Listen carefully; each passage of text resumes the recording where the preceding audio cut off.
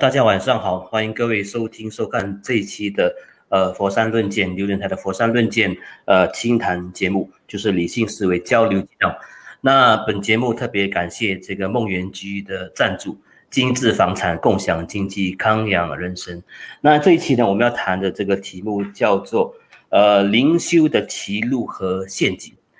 啊，就是缘起呢，就是道信法师呃在上前面两集呢，我。我跟道西法师都介绍了三本书，那我介绍两本书，就是那个 Ken Weber 的这个呃意识光谱跟这个呃 Jack Canfield Jack Canfield 的这个狂喜之后，那么呃道西法师介绍这本灵性的呃歧路，那请现在我们先请开始请道西法师讲解一下这本书的内容到底在讲些什么，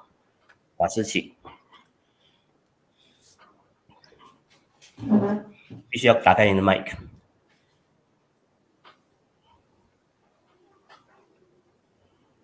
开麦克，sorry。啊，开麦，对。好，好。其实这本书的作者本身呢是一个心理学的博士，他原来是读，他原来是读跟心理学没有关系的，但是呢，自己本身在呃经过一些算是很大的重大的死亡事件之后。他就转向了修行的方向，然后再到四十岁左右才拿到心理学的博士学位。然后他在指导很多人在修行的过程里面呢，给了一种方向，就是不要走歪路了。那后来他的朋友就跟他介绍说：“哎，你讲的很好，你为什么不把它写成书？哈，所以这一段其实，在 YouTube 里面，你只要打《灵性歧路》这本书，就可以看得到那个。”原书的作者他有讲起这一段的缘起这样子，然后他之所以呢想要把它后来想会把它出成书呢，是因为他说他看到太多的以神圣之名行解离之时哈，我我不知道这样子大家看不看得到？就是作者吗？嗯，对对对，作者他们夫妻两个哈，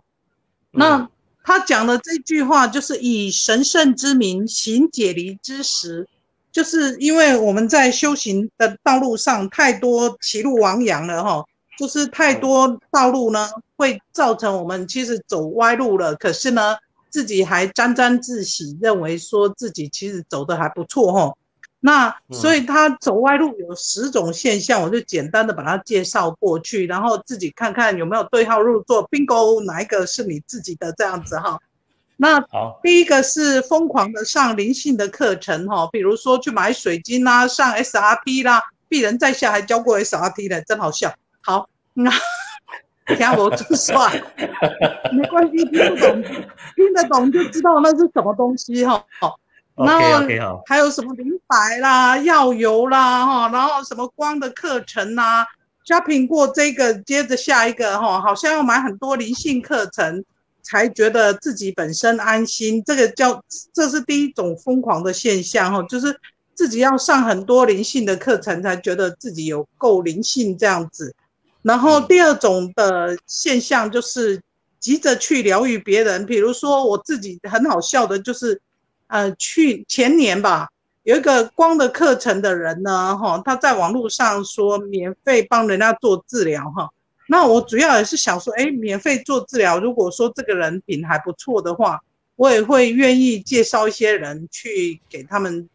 聊，就是试试看这样子。所以我通常呢，我这个毕竟我学过人类学，哈，我自己一定会先去试验看看。结果呢，这个人有够扯的，他就说，哎。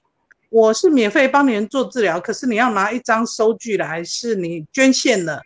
然后，对，去任何一个地方捐献呐都可以哈，捐献到寺庙也可以。我跟他说，请问我身心都捐献给佛佛陀了，这样还不行吗？他说不行，一定要有一张收据才可以哈。这也是一种疗愈别人的方式啦哈，就是反正呢，为了要做功德，一定要累积那张卡，这样子就是有捐献卡才算哈。那这样的人呢，在疗愈别人的时候，他觉得他自己很有功德，可是这其实也是一种着急的疗愈别人，也是一种灵性的歧歧路。但这如果用在佛教徒来说呢，就是，呃，我们台湾台湾话有一句话还蛮好笑的哈，哎，即用即用，摸钱掏开来讲，听得懂吗？听听起来好像借有的名字这样。争辩的那个，争辩的那个争争争论的争哈，争辩的王呢，好像没有争辩呢，他就会阵亡这样子的意思啊。即用即用，摸钱掏开来讲。然后他不如果不跟人家争辩呢，他就觉得头晕目眩这样子哈。那所以一样的佛教徒很多人呢，学了一学佛教呢，开始跟你说教，这个其实也是一种呃那个那个灵性的呃一种娇慢的现象哈。然后它也是十大现象的第二点，第三点就是不敢拒绝别人当烂好人哈。那其实这种佛教徒还蛮常见的哈，萨瓦迪卡不是啦，佛那个是泰国的才叫萨瓦迪卡哦。如果是佛教就是阿弥陀佛吧，然后什么都对对，什么都要跟你讲阿弥陀佛，然后什么都好像答应你，什么事也都没有做哈。这是第三种，第四种就是过度的压抑自己负面的情绪。然后其实这种佛教还蛮常见的哈，奴性还蛮强的，多半的佛教徒还是归类奴性蛮强的那一种比较多了哈，觉性强的并不多哈。然后我曾经看过某大寺庙的里面一个大法师哈，他都已经是在大学当教授了哦哈，还是优良教授。可是因为他们的寺庙非常的大哈，那不要讲哪一个寺庙，猜也知道哈。台湾四大名山很容易猜的，那，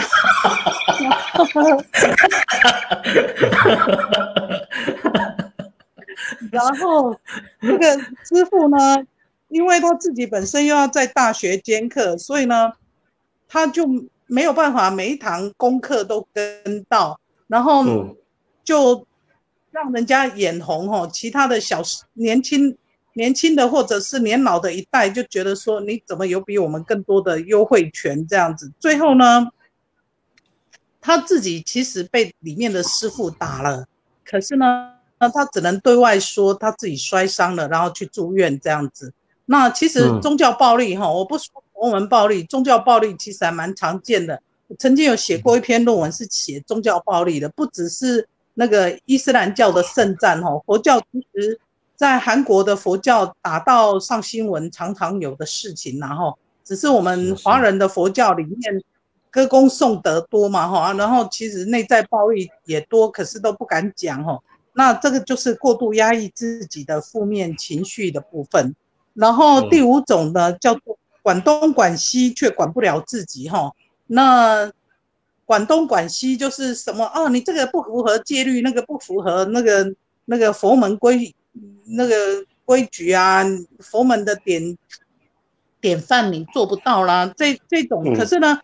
管管别人说这个没做到，那个没做到，其实都只有把箭头往外走哈，都不不往内看。就是我们常常讲的，一一当你一只手指头指着别人的时候，其实有四只手指头，至少有三只是指向自己的嘛吼。那可是呢？这种特质的那种灵性，出来的手是七星的，嗯，灵性灵性走上灵性歧路的人呢，其实他会过度的压抑自己的负面情绪，但不自知哈。那第五，哎，第六种就是过度的正面强逼自己赶快好起来哈。比如，其实就是忧郁症，假设是忧郁症好了。然后就会跟自己说：“哎，没有没有没有没有，我学佛了以后马上就好了哈。”那这种逼着自己、这种吹破自己马上就好起来的这一种呢，逃到佛门来、逃到宗教界来的、逃到灵修来的，多得一塌糊涂哈。但这个灵性歧路没有讲佛教啦，它是讲通则哈，它是讲所有人在修炼上面、在灵性修持上面的通则。第七种就是不懂得设立界限，不敢的面对冲突，哈，就是不能生气，好像生气你就是做了坏事一样，哈。那其实佛门里面很多人也是不敢生气，哦，所以鄙人在下呢，反正也没有什么那个白的面了，已经够黑了，所以我曾经到某一个四大名山去当他们的学生哈，然后他们就上面的人就召见我，这样有够白话吗？好，很白话了。然后呢，就说：“哎，那个，嘿，那个，那个台北来的那个法师啊，哈，你来参观我们这个，到底，哎，你有看到了什么东西呀？哈，那你是觉得你自己得到比较多，还是舍？哎，你自己得的比较多，还是给的比较多？哈，我就直接问。”那个我自己当下人嘛，所以我就直接问那个上人说：“请问你希望我给你什么答案？我就照你讲的讲哦。”他就马上脸色就变绿了，然后就跟我的教授说：“哎，那个那个学问深啊，讲话不要那么毒。”可是实际上是我对他的行为模式研究过很多次哈，就是我如果讲说：“哎，我我。”得到的比较多呢，他就马上跟你讲另外一种方向，这就是其实是很多不只是台湾的佛教界哈，大陆的佛教界可能更惨一点点。就是我上个礼礼拜讲的《后宫甄嬛传》里面的佛宫里面真的很烦，很一直在那里面打转的那个《佛宫甄嬛传》哈，然后这种现象其实就是，哎，你跟他说，哎，要煮饭哦，然后。然后他就说：“哎，饭不好吃，要吃稀饭。等到你真的煮了稀饭，他又跟你说稀饭不行啊，很容易饿啊，要煮饭。反正你怎么做都是不对的这种人哈。然后，如果你遇到这样的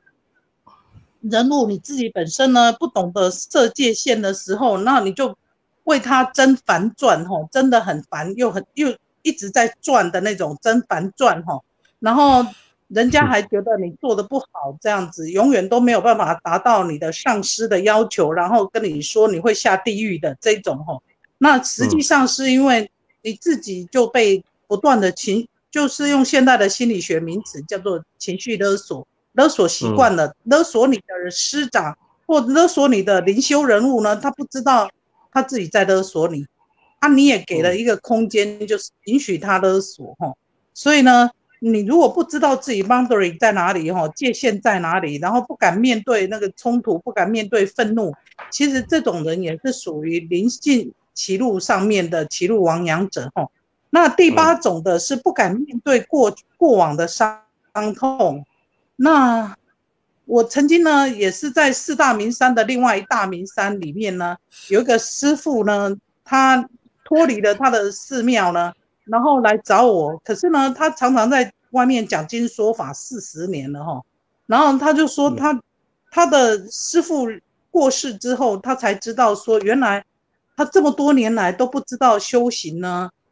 教禅他自己本身教禅修也带的很不错哈。他说他都不知道修行是为了生死大事，我都跟他说什么？那你怎么教人家禅修呢？他就说哎，照着课本教就好了。这对我来说，我还蛮惊讶的。那你为什么会出家呢？他就说，因为爸爸过世。那爸爸过世，你没有面对你的伤痛，却是投射到一个南众的大法师身上，然后就赶快跟着师傅说什么，然后就觉得哎不错不错，师傅说的很不错，然后就去出家了哈。那出家以后就跟着人家寺庙一直转啊转转转，然后。一直到他的师傅都过世了，他才开始需要面对这个问题，就是他过往的死亡的焦虑都没有处理过哈。然后一晃已经七十岁了哈，出家也四十年了，所以他才知道问题很大。可是他也教了很多人哦。那嗯，这是一个灵性歧路的现象，还好还不错，至少他七十岁了还愿意回来面对哈。可惜就是后面啊，就阿弥陀佛了哈。第九点就是自以为是救世主哈，嗯，救世主，自己认为自己本身是那个，哎，就是在牺牲奉献的人，然后帮助别人呐，这种助人意识本身哈是一个很大很大的那种问题，就是特别是我想对佛教徒讲一下，如果有在听我们这个课程的人呢，听我们这个论坛的人，其实佛教界很多人呢都是希望去。哎，拯救苍生啊！吼，真的像武侠小说的那种拯救苍生，或者我们自己自以为是的度众生哈，然后成佛道上求下化这样子一堆名词加在自己身身上，然后觉得自己一定要做到像菩萨行这样子，自以为自己本身是救世主，然后自己要要求自己做慈悲行啊，这种助人意识太强的这种人呢，其实都是在灵性的歧路上面掉入了很大很大的陷阱而不自知。那特别是很多出家人一出家了以后呢，就认为自己已经可以救世了哈，就很惨了嘿。然后这终其一生盖了寺庙盖完了，可能只好再来轮回一次哈，所以。哎哎，好，不要批判了。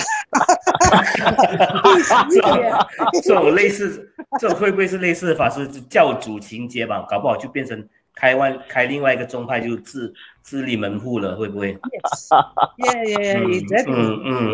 ，Yeah，第十点就是盲目的崇拜，不懂得分辨是非哈。盲目崇拜人家说，哦，这个人已经成为大师，他眼睛闭闭的哈，然后虽然已经。已经往生原籍了，可是呢，以往出来台湾四大名山这么多年，大部分的我也没听过他什么开示，除了看到他坐着，然后眼睛闭着，嗯，哎，好，就好像很有修。以后我如果出来了，我也是眼睛闭着，嗯，好，各位非常有修，都对都对，那我可能会变大师哈。出快收面的广告吗？啊？你你好像在做手面的广告。四大名山的三两两三大了嘛？哈，那 OK，这种哎，这种问题就是所谓的灵性歧路里面的十大灵性修行的那个陷阱，嘿，常见的。对，好，好，然后再来介绍一下那个呃，这种灵性走入灵性歧路的人呢，会有一一种感觉哈。第一种叫做单逆，单逆在那个灵性的方法产生的感觉里面哈，比如说哦召唤光哦有没有光？有没有光？哦，我必须要直接批判一家哈叫做 P O V 知见心理学，它也吸收了很多佛教徒哈，还有那个合一大学哈，到底在沉溺在那种单立在什么东西？哦召唤光。坦白说，我曾曾经参加到 POV 知见心理学的那个训练师的那个内部了，然后我决定退出了，就是因为那个 Nancy 啊，惨了，直接指名道姓，没关系，对，我我知道世界心理学就是那个 Chuck Spizzano 那个吧，对不对？我知道，Yes，Yes，Yes，啊，他跟他说奇怪，他看到。我在夏威夷上课，他说他看到我手一招就有光，为什么他现在都招不到光？还问我这个问题。那你是老师还是我是老师？我为什么干嘛交几十万来跟你学呢？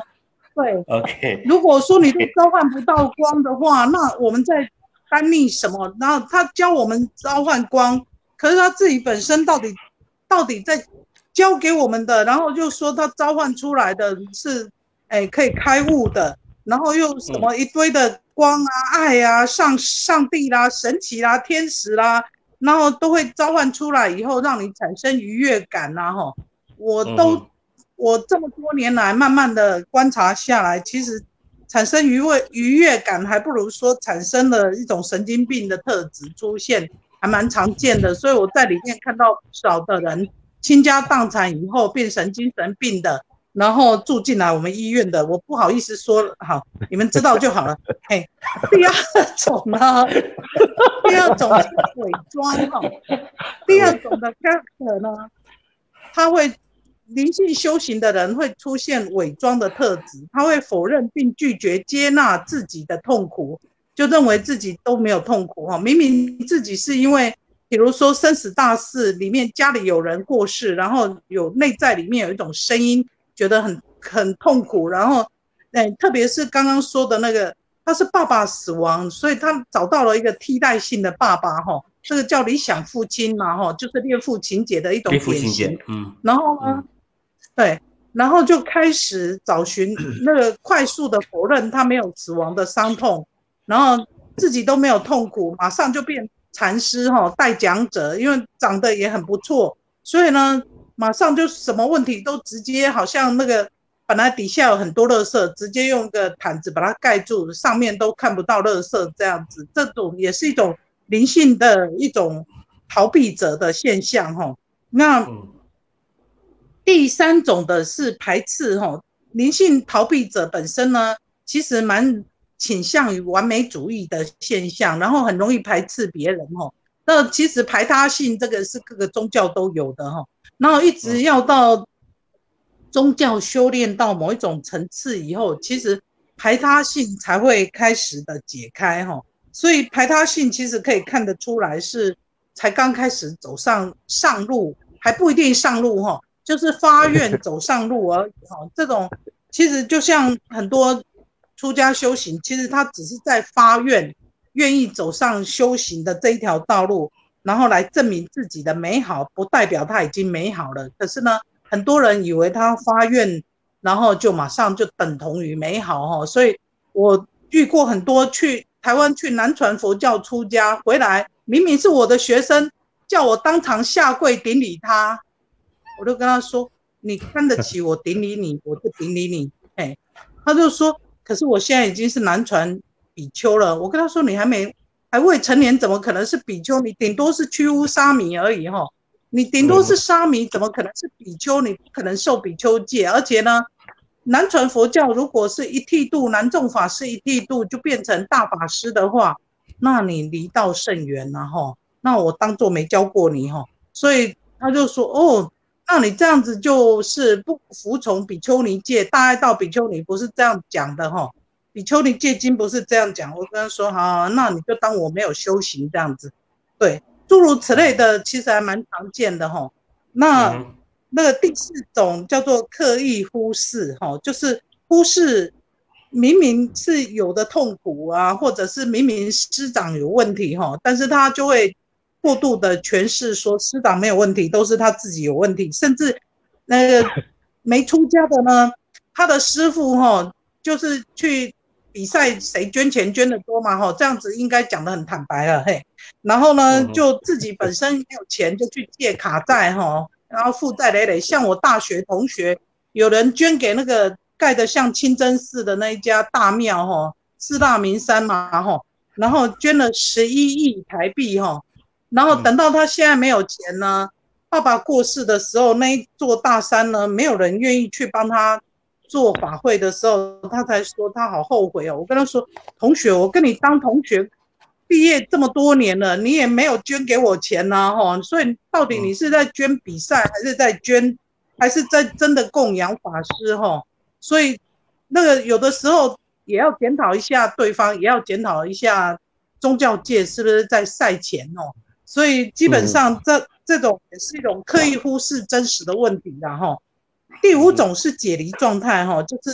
让自己呢，所有的事事不关己，我就是念佛闭关修行，什么事都跟我无关。那这种也算是一种灵性逃避的一种方式，哈，反正所有的痛苦也跟我无关，都把它关起来都没有关系，哈。那这个在佛教界里面其实蛮常见的，就是 isolation，哈，自己觉得自己是呃鹤立独行，或者应该是说。其实蛮不合群的啦，哈，可是呢，却跟人家说那个避免情那个量子扰场的干扰啦，什么理理论解释一大堆，其实他就是情绪障碍，哈。然后 反正呢，解释各种都有，那就看你自己怎么解释。这基本上就是，呃，灵修行的那个歧路亡羊的一种，一个是十大现象，哈，一个是那个灵性修行上面常见的一种问题，这样子。所以大概整本书介绍的这些大的观念，然后自己再核对一下自己有没有这些问题，然后如果有问题，当然就是代表那个开始可以上路了。然后如果你内心里面俨然有一种东西在那里闷闷的烧，觉得嗯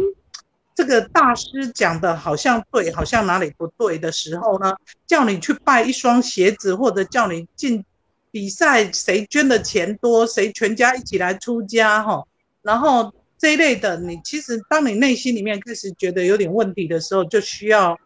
回头来检证这个是不是走在灵性的歧路上面。嘿，好，嗯，书本介绍到到这儿，嗯，啊，听完法师洋洋洒洒介绍这么多关于这个灵性呃陷阱跟灵性歧路的。这个十大现象之后，我讲本节目就到此为止吧，大家下课。开玩笑，开玩笑。我有，其实节目开始之前有一个有一个小插曲的，就是建勇这边有一个有一个人在他脸书播了一个一个呃一一一文字，那请建勇讲解一下到底怎么一回事。嗯，关于这个我我我这边有有一位朋友就是看到我们这一个节目的海报，那么因为节目的海报是说灵性呃灵修的这个起路和陷阱，那么他就呃他就留言就在海报下面留言啊，所以我我不知道他有没有来听，所以有来听的话我们就讲这里了。那么他在呃下面留言呢，就是说呃佛就是他打一个问号，佛教有灵修吗？佛教是不。不承认灵魂的存在，怎么什么灵修呢？啊，那么就就呃呃就指指控，就是我们呢把东西塞在佛陀的口中。那么，所以我我当然因因为我我在网络上骂架也骂惯了，所以我的反应也很快，我是马上回应他，就是说啊，请问我们的海报哪里写了佛教灵修？对对对，整个海报没有写佛教灵修。那么，所以，假如是没有讲佛教灵修的话，我们怎么样把把一些话塞在佛陀的口呢？嗯，还是你没有意识到，你已经把东西塞在我们的口？嗯嗯，你自己完全没意识到，所以你你首先，其其实我我我我觉得这个啊，正好可以讨论这个灵星歧路的一样东西，就是啊，很明显的这位朋友他看到一些字眼啊，这个是一个佛教论坛。然后佛教论坛里面讲灵修的起啊，这个这种陷阱，他就对号入座，就认为什么为什么会搞佛教灵修？他很快对号入座了，然后也很紧急的，就是要纠正我们，就是说佛教是没有这一个东西了啊。那么啊，其实其实，所以我才反问回他而已。所以我觉得这一个呢，应该是一些人呢，他对于自己的那个一些想法。他有呃很强的这个情意结的时候，他会很快的对号入座，就是他看到一些东西的时候呢，很快是两个没关联的东西就把它对号入座。因为这首先整个节目我们还还没开始开讲，那么第二呢，就算你只看海报，海报也没说是佛教灵修，那么佛教能不能够讨论不是佛教的灵修呢？绝对可以啊。对对对，一个论坛绝对可以讨论，不是佛教的灵修会出现什么问题，可以吗？可以。那么佛教要用，我们要用一个字说啊，这些修行人叫灵修，可以吗？啊，这边可以辩论的，这个是可以辩论的，因为假如在英文界的佛教圈子呢，他们英文界都一样是讲呢佛教徒的 spiritual practice，spiritual practice，对对。那么那么这一个，假如我们把它翻译成中文的话，那么你要怎么讲呢？呃，是是，spirit 的意思就是灵啊，所以所以这边我觉得这个这个是可以辩论的。不过我呃我我我的意思是说，这个刚恰好呢，就是反映刚才师傅所讲的那几个例子里面，就是几个那些会出现的一些现象呢的其中一些，就是要急着要纠正他人啊，那么呢就啊。是呃很快的对号，然后他这么快的对号入座，应该里面的一些心结可能也反映着他过去的一些东西还没有开解的，所以他会很快做啊，就是做呃这一种的东西，所以这个只是呃一个小插曲而已啊。嗯嗯。然后从这个小插曲，我们就看到可能所谓的佛教徒容易犯上的这个灵修的陷阱，可能就是很本位主义的，喜欢把佛教跟非佛教东西分开来，然后以佛教的。呃，眼光来看，说哦，我的这个就是正统的。你们稍微用到灵修一点、spiritual 一点、new age 的东西的话，那肯定是旁门左道。这可能会也是会是佛教徒容易犯上的一个一个一个本位的陷阱。当然，当然，我觉得他绝对有权利啊，就是觉得佛教不应该讲灵修，他绝对有这个权利发表这个意见，就好像他也有权利讲佛教不应该讲理财。嗯，他可以这样发表，这个是他的那个自由，他他言论的自由。他佛教徒不应该讲理财课题，不应该家不应该讲家庭和谐问题，因为反正都是要处理的。佛教不应该讲男女关系问题，因为反正这些都是色欲。根据楞严经所讲的，你会怎么样怎么样啊？永远不会解脱的，你都可以。这些我觉得呢，大家应该就是可以讨论，可以讨论出来。然后呢，在讨论的那个过程。那个过程当中呢，我们看一看，就是能不能够互相的撞击，让我们的脑袋的那个视野可以再打开、再大一点。是，而且那个他讲的 spirit 根本就不是灵魂的意思。我们说 spiritual practice 就是灵性的修持。对，那那个跟灵魂有那个那个灵魂勉强了，因因为这个是一个这一个字是一个很现代的一个字，我们现在用一个现代的字来来做一些讨论。现代的课题，对对，难难道我们一定要用回呃以前的字吗？那么你要想用回以前的字，很正统佛教以前的字，我又要问你，要用哪个朝代的？嗯，要用宋朝的呢？明朝的呢？还是唐朝的？还是要用印度印度的哪一个朝代？就是大乘佛教的时代，还是要呃佛陀当年的时代？那些字，所以所以这这边其实假如一要讨论的话，其实是真的是啊钻牛角尖的。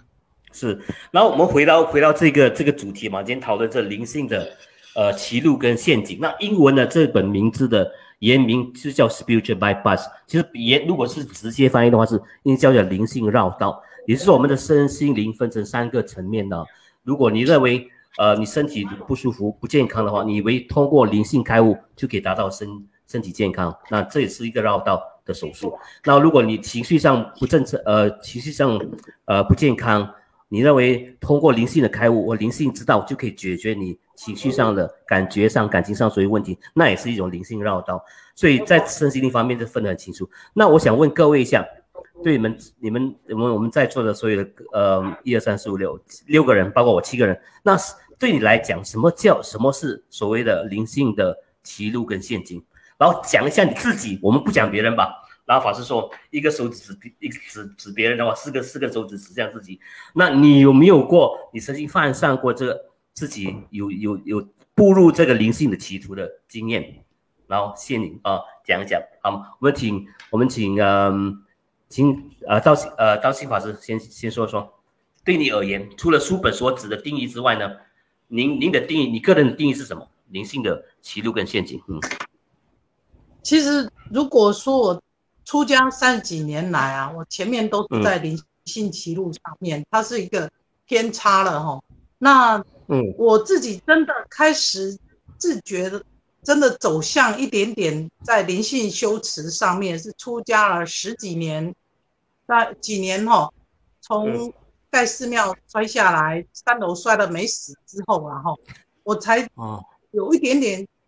恍然大悟，说我以前呢都在活在论述当中，活在 discourse，活在经典当中，但是我不是活出经典，我是去复印经典里面认为像那个。基督教讲的道道成肉身，哈，就是那个你要去那个把道拿来装饰自己。哦，我自己本身很喜欢一本心理学的书，叫《为自己出征》哦。在我还没读到这本书之前，是隐隐约约觉得 something wrong 哈。然后一直到我参我进入了安宁疗护 hospice care 之后，一九九五年进去 hospice care 看到。其实很刺激，然后我第一年进到台大医院做 hospice care 的时候呢，一九九五年台湾还没有其他的法师进去，我是第一个进去的哈。那那一年呢，有出家人死亡，有佛教的讲师死亡，有很多的大有大学教授死亡。我那一年接接了很多 case，我很第一年嘛，然后那时候正好在读硕士班，然后。当时是护理长哦，他们要开安宁病房的时候，然后希望找一个有医疗背景的宗教人士、佛教人士，所以我是因为这样进去这个台大医院的。那我那一年接了这些 case 之后，让我自己本身呢有很深很深的觉悟哈。我自己都常跟人家开玩笑说，两种人很难死，一种叫做狮子辈，一种叫做后面有一个长哈。什么大家长啊，什么什么师长，一个是嗯，后面有个师啊，哈，护理师、医师、宗教师，然后牧师、法师，然后教授，师字辈的，嗯，对，师字辈的真的在临终的时候非常难死，然后长字辈的也也蛮难死的，然后只有一种人呢，在我对我而言，他们的死亡就像你亲近他，就像如沐春风，哈。那种人呢，没有什么什么社会地位，没有什么社会价值，然后呢，一辈子觉得真的是谦虚，已经已经是一种他的很真实的谦虚哦，不是那种哦各位阿弥陀佛哈那种表达的谦虚哈，那个叫做虚伪的、虚假的，对对。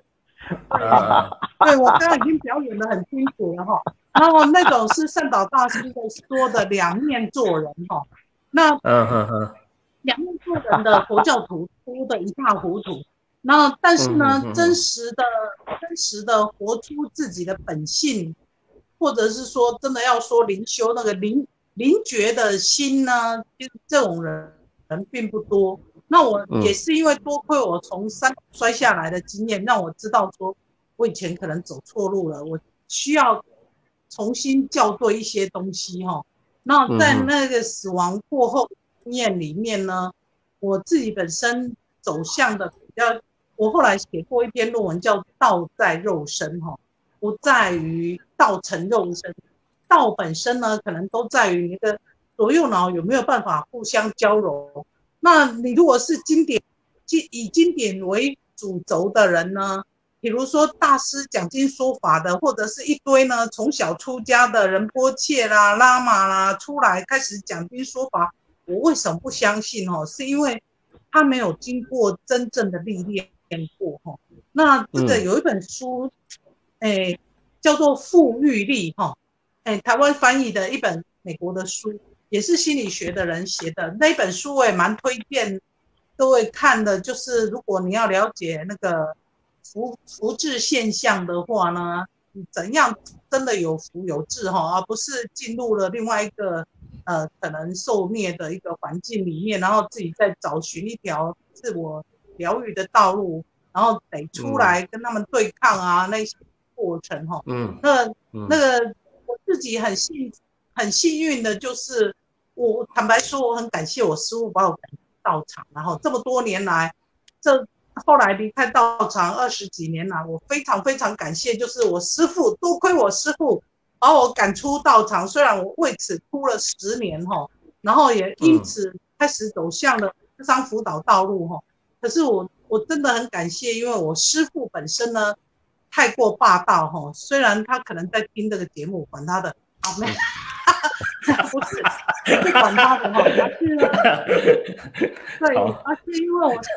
我自己这么多年来开始了解了我我自己本身做了很多的智商哦，开始才嗯，刚开始就是我自己走在歧歧路亡羊的阶段，就有刚刚讲的那种解离的状态嘛。反正呢，师傅有错呢，都不敢说是师傅的错，我在逃避我自己，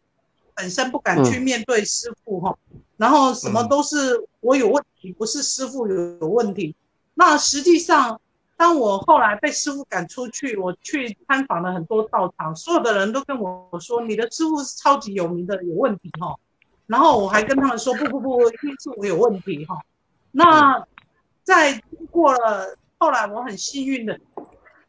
就是因为安宁照顾，然后接触了心理学，然后接触了于德惠教授之后呢，我开始走上了疗愈道路，才知道说，虽然以前呢在佛门有半受虐的状态啦，不过呢，嗯，它变成了滋养我变成一种疗愈的能力。如果没有经历过那么多事，我真的还不知道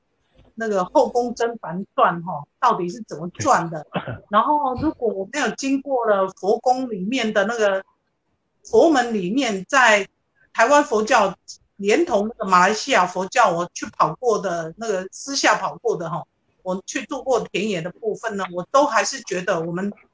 华人的佛教圈都还是依照那个封建制度的皇宫的模式来架构的，还蛮多的。所以呢，围着一个人在那里绕哈，然后那个。还围着一个人在那里烦恼，然后师傅说你错，你就是错，什么都是你错哈。然后如果你其实明明是明明是你走在真理道路上，只要师傅说你错，完全灵性就瞬间变零分哈。所以当我自己很幸运的离开了师长，从此以后走上自己真正可以独独立的思考的路上呢，其实。嗯，才知道说，我前面走了十几年，可能都是歧路亡羊哦。我不管在修行密教，跟随了西藏佛教，到乃至到跟到缅甸泡禅师那边，然后跟龙坡很多人哈。所以其实大部分在网络上面有出书的，或者是说在呃你们只要听得到的，大部分的人坡界佛佛啦，或者是。大禅师啦、龙破啦、阿江啊，其实我大部分都去参学过哈。那这种参学对我来说是一个很好的资历，就是绕了这么多路嘛，哈，绕路绕道而行，就是现在呢，叫我再乱绕呢，我大概不愿意了，哎，多亏前面绕了很多路，但是我也很幸运的，就是如果我没有摔伤的话呢，我可能不知道我在绕路，哈，如果没有摔摔没死的话。我也不知道说，原来我前面所修的都可能只有左脑的理性而已，我完全都没有让右脑打开哦。所以，嗯嗯，哎，我上次有介绍一部那个 TED 的演讲，就是你脑中的两个世界，Taylor 这个教授所讲的。我们可能在修炼上面很大一部分都是在修炼我们的左脑跟右脑的一种中间有一个 mysticism 的一种通道，灰白纸打开，那。这么多年来，我自己本身研究一些脑神经科学，我还是觉得所有的资料库，包括前世今生啊，一些那个阿拉耶识的种子，有很可能都存储存在我们的右脑里面，然后透过一种方式不断的累积下来。所以我自己真的走冤枉路走很多啦哈，花的我自己努力在工作赚钱，花了很多冤枉钱，包括说去学 P O V 都学。学了很多，花了很多钱哦，然后这样的走过来，我也才比较知道所谓的 spiritual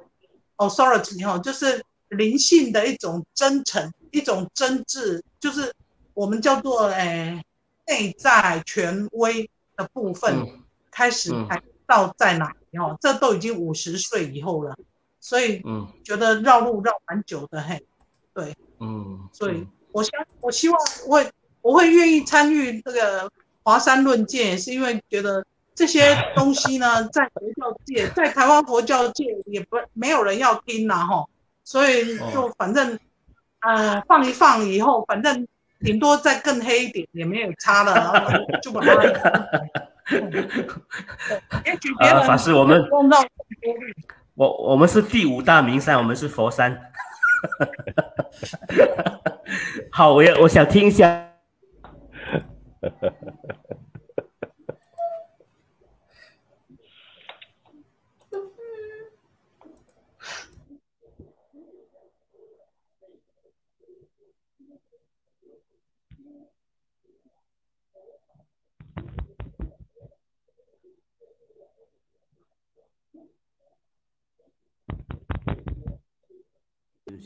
哦，刚才听到我讲话吗？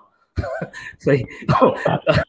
听了法师说了这么多的千山万水的种种经历之后啊，呃，怎样从灵修就是灵淡的灵回归去正道的灵修，灵修的呃灵性的灵。那我想问一下呃，Carry，呃，嘉丽，你你这方面你怎么定义什么叫做灵性的歧路跟陷阱，spiritual bypass？那你有没有所谓的这样的经验可以跟大家分享的？嗯，Carry。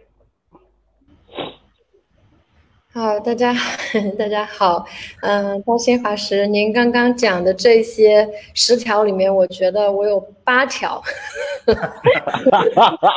犯了八条。然后，嗯，我觉得对我来说，其实灵性的歧路，我认为任何一个人在找到他的就是他的路之前，他都在歧路上，就是。其实，其实，其实，歧路也只是我们去找寻通往正道上的一条一些岔道。然后，嗯，其实我觉得能够踏上灵性歧路的人，已经，已经，已经离他的路已经不远了。那有一些人可能他都没有踏上灵性歧路，他还觉得很好，他在歧路当中还不知道自己在歧路当中。嗯，然后我觉得。对我自己个人来讲，其实我我学佛时间也不是那么的长，大概也就呃五年的时间，呃，一共加起来就是开从我开始就是呃学习佛法，然后开始吃素，然后到后面就是系统的，然后学习了呃藏传佛教的一些呃一些课程，然后呃开始也开始打坐禅修。那么我我自己个人，因为我我自己检讨了。就是我自己最大的那个歧路，就是其实是在于，在于就是一种，呃，怎么说呢？当你踏上就是灵性追寻的道路的时候，其实我们都有一个目标，然后我们这个目标有的时候，呃，它可以指引我们，但是如果当这个目标变成一种执着的时候，它也会变成一种歧路。呃，因为我我自己是呃医学博士嘛，然后我从小到大其实各方面都很追求，就是呃最好的东西，最最最最完美的东西，最优秀的东西。那我在学佛的时候，我其实也一直在追寻一些，就是就是呃，我想要知道最正确的道理是什么，然后佛经上面。哦，最好的老师，然后我就一直在追追追追追了以后，然后再评判自己自己呃打坐打打的怎么样，双盘能不能十个小时通宵二十四小时，就是这种不断的就是很苛刻的要求自己，就是 就是当当到一定程度的时候，我认为就是呃我们自己的一个呃这种这种执着，它也会成为一种一种陷阱，嗯，对对对我个人来说，那么其实所谓的灵修。其实很多很多人刚开始讲，会觉得啊，好像就是一种非常神秘、很神奇、很高尚的东西。呃，但其实，其实当我们真正的就是呃了解了那些，就是就是我我自己感觉，就是我现在我认为我找到的这个道吧，嗯，就是它其实很朴实、很简单。就是其实有些人他可能不去找，他本身就很符合那个道。但是像有些人，他越找反而就是越偏，呃，然后我觉得，我认为在这当中有一项特别特别重要的，就是就是嗯，来检验我们自己是不是呃走在正确的道上，有没有在歧路上的。就对我自己非常有帮助的，就是呃，我很感恩我身边的家人，我的朋友，因因因为当当我们走到歧路的时候，它必然有一个现象，就是旁边的人突然开始说你说你怎么最近变得这么奇怪？他说你怎么就是。就会会你会有很多很多的信息来提醒你说，他说你这人学佛怎么学成这样了？比如说，就我们有的时候刚开始 很执着，说我每天要打坐，然后我不吃饭，然后然后我一定要吃素，然后不跟你们一起吃饭，然后 就很多很多类似，然后就开始有一些人他们就身边的人开始担心你，然后开始感觉有一些烦恼，然后这个时候其实已经是很强烈的一个一个暗示。呃，但是 如果你在这条歧路上走的比较深，你可能会跟他们割断，然后说这些俗人，我为了我为了我自己的解脱成佛，我不要跟他们往来，他们是我我成佛解脱灵性成长的障碍，然后我要去自己一个人到某个地方，然后就是啊，我就每天打坐，然后看到光，然后就是享受那种极乐，但是。但但是但是，当你就是真的这样做的时候，你发现就是我自己吧，也有过一段时间，我就是与与与各种人隔离，隔离我的呃我的朋友，我不跟他们联系，然后也隔离我的父母，然后我就躲起来。然后经常就是突然他们找不到我，然后就不知道我去哪了。我可能就跑到一个呃，就是什么山里面或者那个舍利塔旁边之类的，然后就自己一个人打坐，手机也不开，然后就谁都不管。好，现在我要打坐了，然后就按照那个佛经上面说啊，你怎么修禅，什么禅密要法经啊，然后打坐你怎么观白骨，怎么观光，怎么观佛像，然后就自己一个人在那里打坐。但是你在那里打坐呢，由由于其实我们的。就是这个心，它还是非常的自我，因为因为其实所有的灵性灵性的修行，我认为就是我现在慢慢理解到，就是要放下那个自私自利的心。当你的自私自利的心就强到说你就是伤害其他人，你都要为自己争取这样一个东西的时候，实际上他已经与正道，就是以那个无我与与与无私已经背道而驰了。你打坐你怎么修，你都是念头妄想。就是乱飞的，你根本就不可能达到那个就是所谓的我们呃禅修的那些就是真正的那种就是觉性的那种那种境界，呃，只有我们我我我认为就是慢慢的就是现在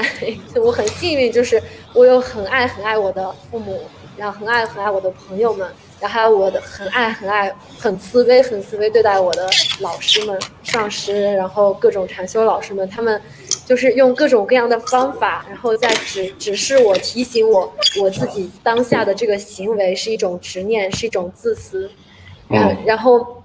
甚至就是当时有一段时间，然后我都不想工作，我会觉得我就想打坐，不想工作。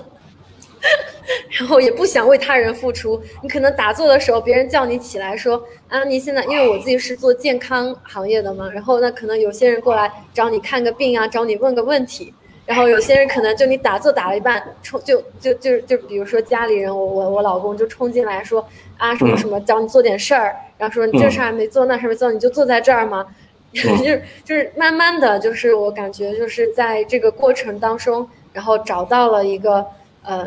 就是哎，就是我突然有一天，突然突然有一天，真的有一天我我突然意识到自己这个问题。就是我的这个自私的心是我我的最大的一个障碍和陷阱，然后我觉得现在我我我也不是修行了很久，然后也不一定说那么的在道上，但是我我我知道了就是自己的这个问题，然后慢慢的，然后在在未来的每一天当中，其实就是其实很修行也有说简单也很简单，说难也很难，但是就是尽量的去去。使自己的这个自私的心去检视自己自私的心，然后是不是放下，然后是不是随时，其实我们日常生活中有很多的场景，随时可以让我们去为他人付出，从我们的家里人、身边的人开始，为他们端茶倒水，然后做家务，然后呃 服务，就是在工作当中服务好你的你的同事、你的老板，就是其实这些本身就是都是我们修行的这个路。然后当我们认识到它什么的路的时候，我们就是。就是我觉得会清晰很多，然后也也会慢慢的避免那些歧路，它也是我们一种很好的检验。嗯，对，大概就是这样子。嗯，从这边开始，我们就知道说，在在这个新冠疫情还没有开始之前，呃，家里已经自我隔离很久了，这个对啊，所以所以这个落入这种呃极端的自我偏执当中，真的是学佛修行人所应该要尽量避免的一个。陷阱或者说是灵性的歧路了。那我想听一下，呃，竹子，你这方面有没有这样的经验？自己有没有步入这个灵性的歧途和陷阱之中的体验，要跟大家分享的？啊，对人而言，什么叫做灵性的歧路？嗯，对我而言，回复声音可以吗？可以，可以。嗯，对我而言，我觉得，嗯，每一个昨天和过去过的都是歧途，即使现在我也不敢说自己没有在歧途上。因为，嗯，经常回过去看过去自己曾经在当时以为很正确的事情，那可能过了一年就已经发现这个是不对的。嗯嗯。嗯，所以说就是。竹子，你要贴近麦克风一点，声音稍微小一点。嗯。好的，我把声音好。好。嗯。嗯，所以说我觉得可能是，嗯，嗯。过去在很多年里面都是一直在歧途之中走，然后呢，就走过去之后才能发现过去可能是一条歧途，在当时的时候觉得自己特别有道理。嗯。所以就是关于法师说的那本书里的大部分现象，有的是我有过，有的是我身边的人有过，因为嗯，这些所谓的歧途，我也像家一样认为是每个人都应该会经历的。也是每个人可能会通过这些来达到一种成长，因为有些错误一个人自己犯过之后，嗯，跟自己没有犯过看别人犯是不一样的。自己犯过之后，就会有一个非常亲身的这样的一个一个经历和感受吧。然后呢，嗯，我觉得我自己有过的很多起伏啊。举一个例子来说，就是对组织，我过去呢对佛法的组织和团体。啊，嗯，我曾经有一段时间特别热爱团体和组特别热爱跟大家在一起。嗯嗯嗯嗯，就是总觉得好像说，嗯，很多人在一起的话，那可能这么多人是不会走错路的，对吧？对自己来说是一个保障。嗯，而且经过了很多年，经过了很多年之后，可能会意识到说，有些地方确实是，嗯，或者是刚进来的时候，可能团体确实是对人有好处。那过了一段时间之后，可能最后还是觉得，嗯，自己修行的路是要自己走下去的。越是依赖团体，可能在很多问题上，可能问题会更大。因为依赖团体呢，你可能会看到很多团体的问题。那在很多团体的问题之中呢，你就会把注意力完全放在外面，而不是向自己看。嗯。所以，嗯。我觉得很多时候都是这样的，就是有一些问题呢是体系上的问题、组织上的问题，有些问题是个人形成的问题。那我走过的很大的一段时间，就是把自己的问题跟组织的问题完全混在了一起。那这种混在一起，就会造成觉得，如果团体的问题解决不了，就无法解决我的问题。但是后来我发现不是的，发现问题可以不解决，可以解决我自己的问题。嗯，这个从这个里面走出来，就是并且不再去挑别人的毛病吧，可以说是花了很长时间，然后意识到说，嗯，确实我可以，就是说，嗯，走一条只跟三五个好友一起来共同前行这样的道路。因为我家里也信团队也是比较运气，比较有运气，可以跟自己的亲朋好友一起同修，所以不需要，嗯，非要就是怎么说呢？就像法师那本书里说的，对吧？就非要就是好像自己要帮助很多人一样，对吧？其实我们不必帮助很多人，我们能帮助自己也很了不起了，而且可能连自己都帮助不了。是是是是，呃，不能够自利利他，自害害害人，对，嗯。就是叫什么嗯，通往地狱的路是用这种善意来铺就的嘛，对吧？善意来铺真的，对对对对。对，所以很多时候，如果自己就有很大的问题，那越想要改变别人，那问题会越大。所以不如嗯，自己先把目光往内看，而不是老是向外面看，外面的是怎样怎样。向外投射跟是的，归咎他人，对。外面外面的投射也跟自己的问题有关。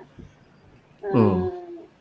所以就是这方面可能是我走的比较比较比较多的一个吧，但是说，但是如果说今年我回头看去年有没有很多错的地方，也有很多错的地方，那可能现在回想去上个月有没有错的地方，那可能也有很多错的地方。所以这个是，嗯，我只能是说这么多年来一直都在这一条错误的路上，一点一点的往前走。那可能走过很久才能发现过去的是有问题，那就。但是呢，我为什么要做一个正确的人呢？我可以犯错误，对吧？对 这个是我这个完美主义嘛。这个是我改了之后，我自己经常对自己说的一句话：我为什么不能做错呢？对吧？嗯。为什么不能做错事？我为什么不能做个错误的人？我可以的呀。所以是是。嗯，现在就不断的在错误之中往前走吧，就这样。嗯，是是。那可能明天我们回过头来看这个节目，可能这个就是最大的灵性的歧路了。今天这个节目。好，我想，我想回到丙叔啊，您自己呃，暂且我们先不要从心理学、临床心理学上谈这个问题。我想问一下你个人的体验，你认为自己呃，经过法师讲那个十大问题跟现象之后，你发现有没有发现自己也也曾经有过这样的这种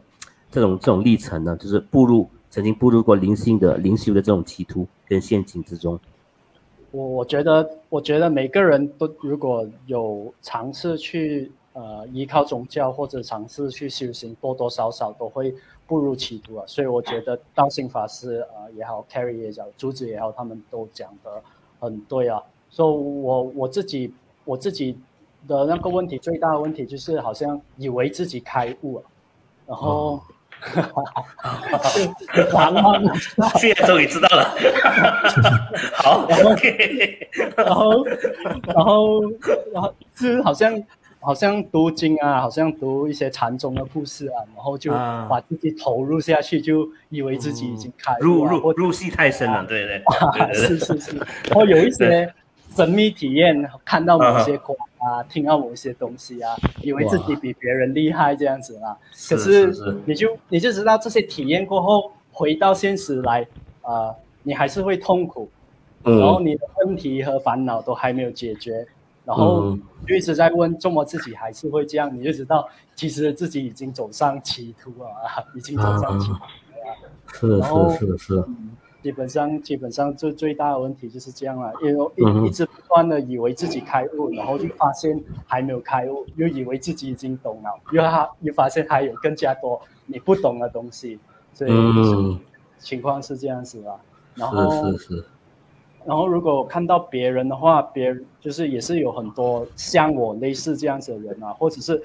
以为自己开悟了，然后就不断的丢名相啊。或者是在讲话的时候说一些名相，说一些人家听不懂的东西，就以为自己很沾沾自喜。对对对，嗯嗯。是是，然后这个，这是我看到我自己最大的问题吧。至于至于如果看，我觉得企图企图，如果知道自己是企图，然后我自己本身是好像进入了心理治疗，呃疗进入了这种精神分析，然后慢慢才会发现自己有问题，然后慢慢去呃纠正跟醒觉啊。我觉得最大的危险是好像啊，因为这些起路而进入一些啊邪教啊。所以我意思是讲，好像法师讲的资讯，好像比如说压抑自己啊，然后会有一个所谓的 fake self，就是会出现一些比较虚伪或者扭曲的人格来讨好啊，讨好那些老师，或者是讨好我们以为我们要亲近的人，其实是一种。移情啊，然后我觉得最大问题就是很多，呃，如果你不知道那个老师是不是走在正道的时候，很多时候他们都会用很多 shaming 啊、guilt trip 啊这样子的这种方式来让你感觉到很惭愧啊、自卑啊，是嗯是羞耻啊，所以回回到去，那最大问题是那个自我还没有够成熟。那个自我、那个 ego 还没有够巩固的时候，其实都是会蛮危险。尤其是在我们人生中经历一些痛苦和创伤的时候，我们迷茫的时候，我们很容易去有这个移情，想要找到一个人来拯救我们，或者是想要找到一个宗教或者一个东西来依靠。当我们越迷茫的时候，我们越容易就是啊，会陷入这种企图跟被人家利用而。达到更加大的这种创伤跟背叛，嗯，是是，也就是说，在我们的人格还不够健全、发展情绪不够稳定的时候，再去追求更高的灵性的成长，那可能是一个很大的陷阱跟歧路，对不对？嗯，是。我发现我自己有个毛病，就是我曾经有步入的灵性歧途，就是说，当你在财务方面收入不够的时候，我会去哎会求财神啊。呃，求财神灌顶啦，什么咒语之类的东西，然后财神那么多，还有这个财神的佛母啊，什么一大堆的五方财神啊之类的东西，都会去求。那虽然会有小小的感应，可是你就是你不去注重你自己的理财的那种那种东西跟技巧啊，不去增加自己的开源节流，不去增加自己的收入啊，不不会增加自己理财的技巧而去追求这个东西，我觉得这是是个一个蛮大的一个很常见的这个企图。哦，比如感情处理的不好，去求这个咕噜咕噜佛母啊之类的东西，我觉得特别是密宗的密宗的宗宗教徒，特别是喜欢求这个东西，因为，呃，有求必应嘛，什么都可以，健康就求药师佛啊，感情就求众明佛母啊，财富就求这个财源天女啊之类的，有求必应。我觉得，特别是密宗的呃信徒吧也好了，行者容易犯上这样的这个毛病啊，shopping。做这个灵性物质化的这种这种这种东西啊，建勇，你这边的经验有没有？你自己对灵性灵性 bypass 的呃这个呃这潜潜示是什么？然后你自己的体验是什么？我我我觉得呃，就是假如假如是综合大部分，我我觉得比较就是比较能够综合的那个问题呢，应该就是啊自我合理化，就是我觉得这一个问题是。他应应该这样讲，他不会变得呃，少数的人呢不断的自我合理化，可能会人格会变得非常恐怖。少数少数的人，大部分的人呢，其实我觉得就是浪费时间，就是你不断的自我合理化的时候呢，其实你是在修行道路上只是不断的浪费时间，就是会去呃不管，就是啊像刚才整威兄有讲的，就是他的那个，比方说他跟自己的那个呃。太太或者老公感情不好，那么他去合理化这个。这个可能是前世业障的问题，那么呢，我可能去是要去修一个，好像刚才啊怎么讲，我要修一个咕噜咕噜佛魔，或者跟那个仁波切求一求，那么仁波切说我加持了啊，你就念这个绿度母咒还是怎么样？那么好了，你去念了之后，但是你的那个多穿红色的衣服，要多穿红色的衣服，对，或或者或者又要去又要去呃什么啊，就是去忏悔。忏悔还是怎么样？所以你你都弄了，我就假设这些东西你都弄了啊，弄了之后，但是那个问题是你还没有看到那个效果，而且可能那个那个关系还恶化，会变得更糟糕。那么变得更糟糕的时候呢，这边消业障，消业障，他们就会说这边我就开始觉得会危险的地方就是，他一定你假如要继续留在这个宗教里面，你必须要合理化为什么这么行不通的东西我还要继续留下来。所以这一个过程才是危险的，那么当然，我就讲这个危险呢，也不会说他的性格扭曲到他变成了一个很恐怖的一个教主啊，以后会打会害害人还是怎么样？我的意思说，他就是很浪费他的时间，就在那个圈里面一直不断的转，所以他不断的就是会呃呃，这个假如勉强讲的话，有一些我看到有一些教徒呢，会变得有点像强迫症，就是他会一点点的风吹草动，就是哎呀，有有这个疑神疑鬼。啊，有这个业障，业障冒出来了啊！有什么什么，就是啊，是不是我跟我师傅的三昧业界破了啊？现在马上去，所以他越搞是越强迫症的，所以你会浪费很多时间在这里。这个是我我我本身所啊所看到的。那么那么，假如要讲回，好像曾妹刚才讲啊，自己有些什么东西呃不好的时候，我会去念一念咒吗？会，我会，但是其实我不花，我其实随随口念那两分钟。然后我就就就放下就算了。那么这所以你要讲我有迷信吗？我觉得有了，很轻度的那个迷信啊。但是那个过程呢，就是我我做了之后，我就当着交了功课，之后我就不管了。那么我还是专注于就是，假如钱财的话，我应该要去专注要做什么啊？那么就是感情问题的话，要么要不要去见辅导员还是怎么样？那么假如要讲我本身所遇过的问题呢，我觉得应该是。最早期的时候，就是刚刚学的时候呢，那个时候应该是好像热恋期，所以是有点像那种传福音的那种、那那种、那种啊，叫做性格，就是你见到人呢都是想讲一讲啊，见到人都想讲一讲，然后呢就也也非常喜欢纠正人家啊，所以就变成应该是啊，刚才法师讲的是灵性的那问题，应该是我看。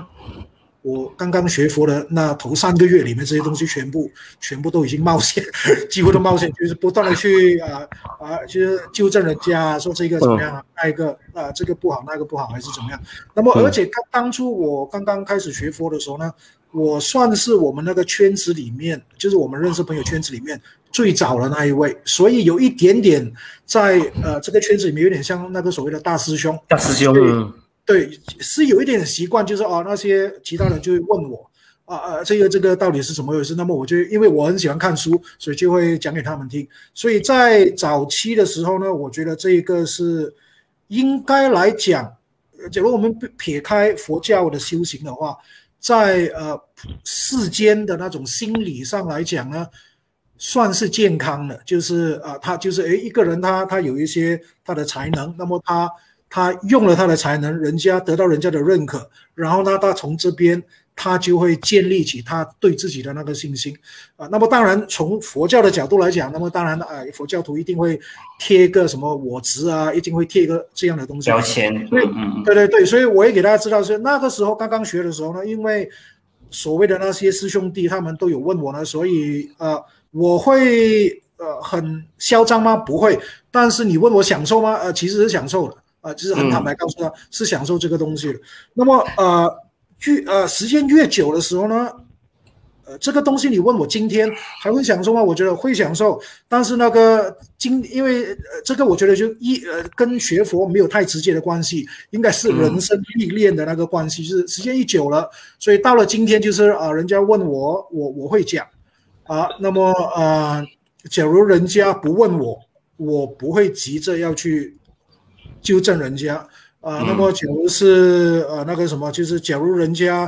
啊讲错了资讯，就是对着说说我说我的资讯错了，我还会看呃我有没有时间要跟这个人玩。假如我没有时间要跟他闹下去的话，就啊我就哦我就假装就是笨笨的。那么呃这个我倒觉得就是说是从人性的磨练上逐逐步的这一些。那个呃所谓的面子尊严问题呢，就逐步的就就已经啊，就是比看得比较开了啊，就就看得比较开，所以我不会跟人家说呢，呃哦，所以我我我根本啊不享受呃人家对我的认可，我觉得这个有点不符合人性。嗯，因为我知道有些佛教徒会这样的，其实这些东西我其实已经看开了啊，我需我根本不需要人家称，就是又在又在合理化，又在合理化。对，我不我不敢讲啊，因为出就是我不知道，因为我还没有就是开悟，所以呢我不敢讲开悟过后我会不会会不会就是不喜欢人家的那个人家的认可，所以我还会认我是喜欢，只不过我的那个人生的历练呢让我看透了很多，所以这些东西就。不需要太认真。那么啊，刚才丙叔也讲到说，呃，当时他觉得开悟的那个，那他觉得那个企图呢，啊，这一个经验我也曾经有过啊，不过那个时间大概是几天而已，就是因为曾经有过一个修行当中有出现过宗教体验，啊，不是看到东西，就是突然间自己有很大的那个领悟。那么很大的领悟过后呢，自己也进入那个巅峰状态，那么就跟朋友分享我的状态的时候呢。然后我一分享的时候，他们告诉我，对对对，我我一直都是这样，我一早都明白。哦，那么我听到他讲他一早就明白呢，我是很生气的啊，我很生气，就是我已经花了几十年才终于开悟的东西，你现在告诉我你你一早就已经明白了，然后我不断的去纠正他，他其实他他明白的东西是错的。然后当然几天过后，那个状态已经平复下来之后呢，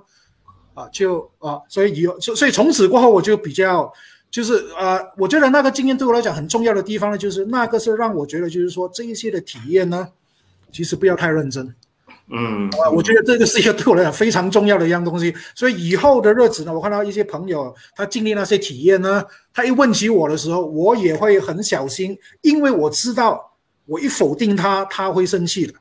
嗯嗯嗯。然后，所以我就很小心的慢慢跟他讲，然后讲的话，我所以这个也是跟我的应该是跟我的人生历练有关。所以就有朋友跟我讲，他好像明好像明心见性过后，然后但是他又有一些呃一些欲望，他有那个欲望的时候呢，他又问我这个欲望是不是？然后他好像讲到是要要修那个密宗的那些双修还是怎么样？那么我一听的时候，我就我心里面第一个想法是啊，应该不是了，这个应该只是你纯粹你你好色而已。但是不能够直接讲，我我不能够直接讲，因为我知道一讲的话，可能朋友都没有得做，所以就要兜了很大个圈，慢慢的兜。那因为我也明白了，我我其实我我我我我觉得折中兄第一个时间会问，哎，你不是说明星艰辛，明星艰辛，为什么你会有这个问题呢？为什么还会对女生呢？我觉得我 那个那个其实我我有这个冲动要这样做了。因为我是认为你的那个不是，那么所以我很想问，哎，不是的话还会有这个问题吗？哎，但是我就收着，然后就跟他兜圈，兜了圈之后，我就兜到最后的时候，我就告诉他，你去问问你的师傅。嗯，然后他问了他，他师傅也一样跟我是兜圈的，他的师傅也没有直接告诉他，因为我为这位朋友是一个大师主啊。他是很有钱的，所以他的师傅，他的师傅也很出名啊，非常在尼泊很出名了。他的师傅也在兜圈哦。其实我听了他讲呢，他师傅没有肯定他，也没有否定他。我说，哎，这个师傅很聪明啊，难怪他能够这么出名。OK，所以这一个，这一个，所以所以刚才呢，丙叔所讲的那个，好像觉得自己开悟的那个，我有试过一次，然后呢，啊。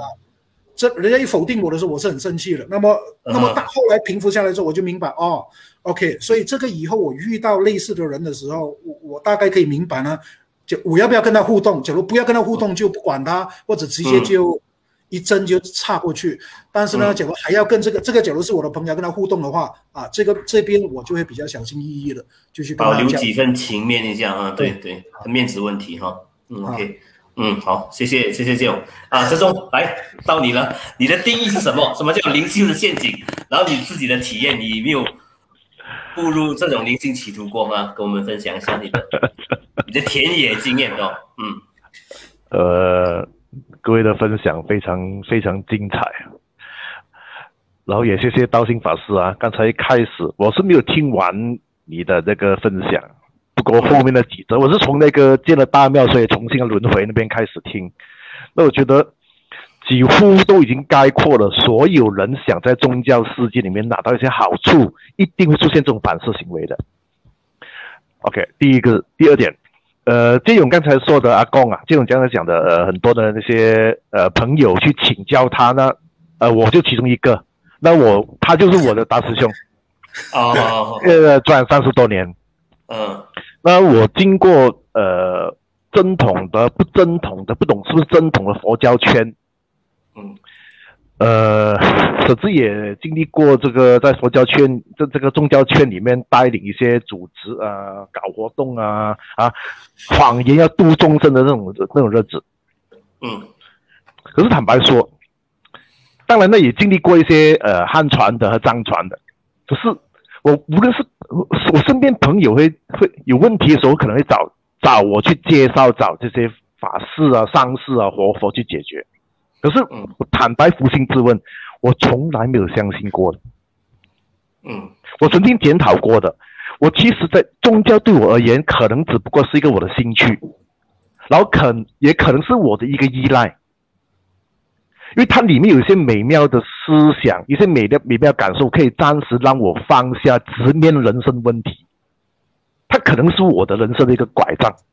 安慰，暂时的安慰哈。安慰，它真的是呃用的过多，它可能这个时候，我我我对我自己的这个这个意志力还有一点点信心，所以我对我来讲呢，那还可能还是要，可是那个绝对不是宗教信徒自己或宗教老师所谎称所称的那种啊，怎么救把你不是，他只是一个暂时的一一个回一回，回一回这暂缓一下面对直面人生问题的一一一个方式。我庆幸是我没有踩得很深，虽然我在行为上或者是在参与活动上我是参与过很多，因为我觉得如果踩得很深，我就中了马克思的名言：宗教真的是精神鸦片来的。我认同这一点的，是鸦片。可是人对精神和心理的一些古老的追寻，恰好又藏在这些鸦片里面。所以，我们通过宗教，很多时候是很无奈的。我们真的要经过一段歧路，或者是敢敢去挑战正统宗教给的种种束缚，我们才有机会找到藏在很多年里面人类用自己生命、生活历练做研究那种心理的解脱方法。解决方法不是解脱方法。嗯，我今天我是我的感受是这样子。所以你刚才我听了很多，我我其实我想我应该怎么分享。因为其实我根本我的问题就是，你跟我讲灵性，我就觉得是歧路。嗯，我觉得我们要学的是如何面对自己，直面人生，如何面对当自己不如意的时候，嗯，病痛伤痛的时候还能撑得过去。现实的问题，现实当下的问题。对，要不然那种宗教里面体会，你讲什么样的见光见影啊，听到奇怪声音啊，幻象，坦白说，有那么难吗？真的不能你找一下林啊林医师，叫你这个药你吃即刻有效，不用宗教的。但那种高潮，我讲高潮不好意思啊，我不用讲高峰经验的，那种高潮过瘾了之后，你面对你的人生，面对我们的这个人际关系，那还不是重新来过？我们能逃得去丛林吗？有多少个人有这个机会？呃，换句话说，我刚比务实务实主义的，你是比较原始的我想学，嗯，我想学做人，我想学做人不了吗？嗯，那宗教对来讲是一个嗜好，一个兴趣，碰我会碰一下咯。所以我的重点是一直都在针对宗教界的社会现象进行批批评。嗯嗯，宗教修行东西呢，我不不碰的。反正你你你你提这一点，我觉得你有点问题的。因为通常在我身边或者我认识的提到这一块的，哪怕你讲什么再正统不过的啊，原教旨主义的那种佛教。或者自诩原教旨主义的佛教，自诩什么汉传还是无上师的，我跟你讲，全部对我来讲，很多是混蛋的，一团糟。我我唯一拿来做分析的利器什么，就是逻辑。对我来讲，逻辑与思考是给我们分清楚，呃，种种现象，包括自己本身对于这种概况的一种依依依赖。或者是一种呃好奇，或者这种无缘无故生气反弹的最好的武器，我就拿做这个武器罢了。嗯，这样而已。好，嗯，好，谢谢。你可以说我这个，你可以说我这个才真是大企图，可以的。因为我这个分享，我相信很多正统佛教觉得，嗯，你走错了，走火入魔。嗯，有机会做葫芦魔也很开心的，其实。然后错误的路可以跟你引引导你最后。步入正道，有时候不一定。没有，那你们这里，你们这里很多人也经历过很多的宗教事事情的，有哪一个支撑宗正统的宗教老师很幸福，真的他言行一直做到他口中的那个自己的？有多少人不是在自欺的？他不懂，他不是不懂，他不要面对不了吗？宗教体，宗教其实精神界真挚来的，都在自欺欺人的，用最极端方法去对待他就对了，不用给面子的。你反而有机会拿到他好处，所以我就说，我们这节目最后一个目的是说，我们希望呃宗教，特别是佛教，能够自我勇于自我批判跟自我改正了。因为所谓这灵性的歧路，有时候是自欺欺人，有时候是陷阱，有时候是歧路，有时候是逃避，有时候一种抗拒，有时候一种压抑，有时候一种阴影。种种这种东西啊，都都有了。那呃，下了下了下了肖了，我回应你问题啊。嗯，其实我们一直讲我们我们的节目向佛教徒反思。其实我很清楚知道我们在自己自己自自己自己欺骗自己的，因为佛教徒最不会反思的。嗯，佛教老师根本不懂什么反思的，全部废话不了一大堆那种阿弥陀佛从所有大乘小乘阿巴拉乘的经经典里面讲话来掩盖自己内心的那种脆弱跟无奈无奈罢了的。你敢面对就讲出来，你就别你就别一下子说破嘛，那我们节目都没得做了嘛。啊，好，大信法师，阿公讲了，我是这样子的吗？好，大信法师，OK，他中就说我们佛教徒真的是真的是无可救药吗？真的是不懂反思吗？你这边怎么看？第一第一点，第二点，那你觉得佛教界目前面对最我我不现在不说我们自己了，说整体佛教界最大的一一个歧路。或者最大的一个陷阱是什么？然后第三个问题，我们要怎样解决这种步入歧路或者陷阱的这种这种这种这个这个这种这个问题？嗯，第一个问题就是哲中所说的，我们佛教徒真的是不懂得反思，讲了太多也没有用，就是很多很会自我合理化啊，很会自我美化这些东西。你觉得是佛教圈子真的是这么没有希望了吗？哎，没有希望，我不敢这么说，因为能够做反思。它要有很多的基础哈，就是嗯，不管是不是学术，以现在人大部分都不是文盲了哈，其实都有反思的能力，只是呢，愿不愿意反思，他有一部分的权利是掌握在那个宗教权力掌握者，就是师长级的那种人身上。那师长本身呢，如果不先做一些示范，其实一般的信徒是不敢做，不敢做太多的反思哈。所以各位很另类哈，跟我一样是黑五类哈。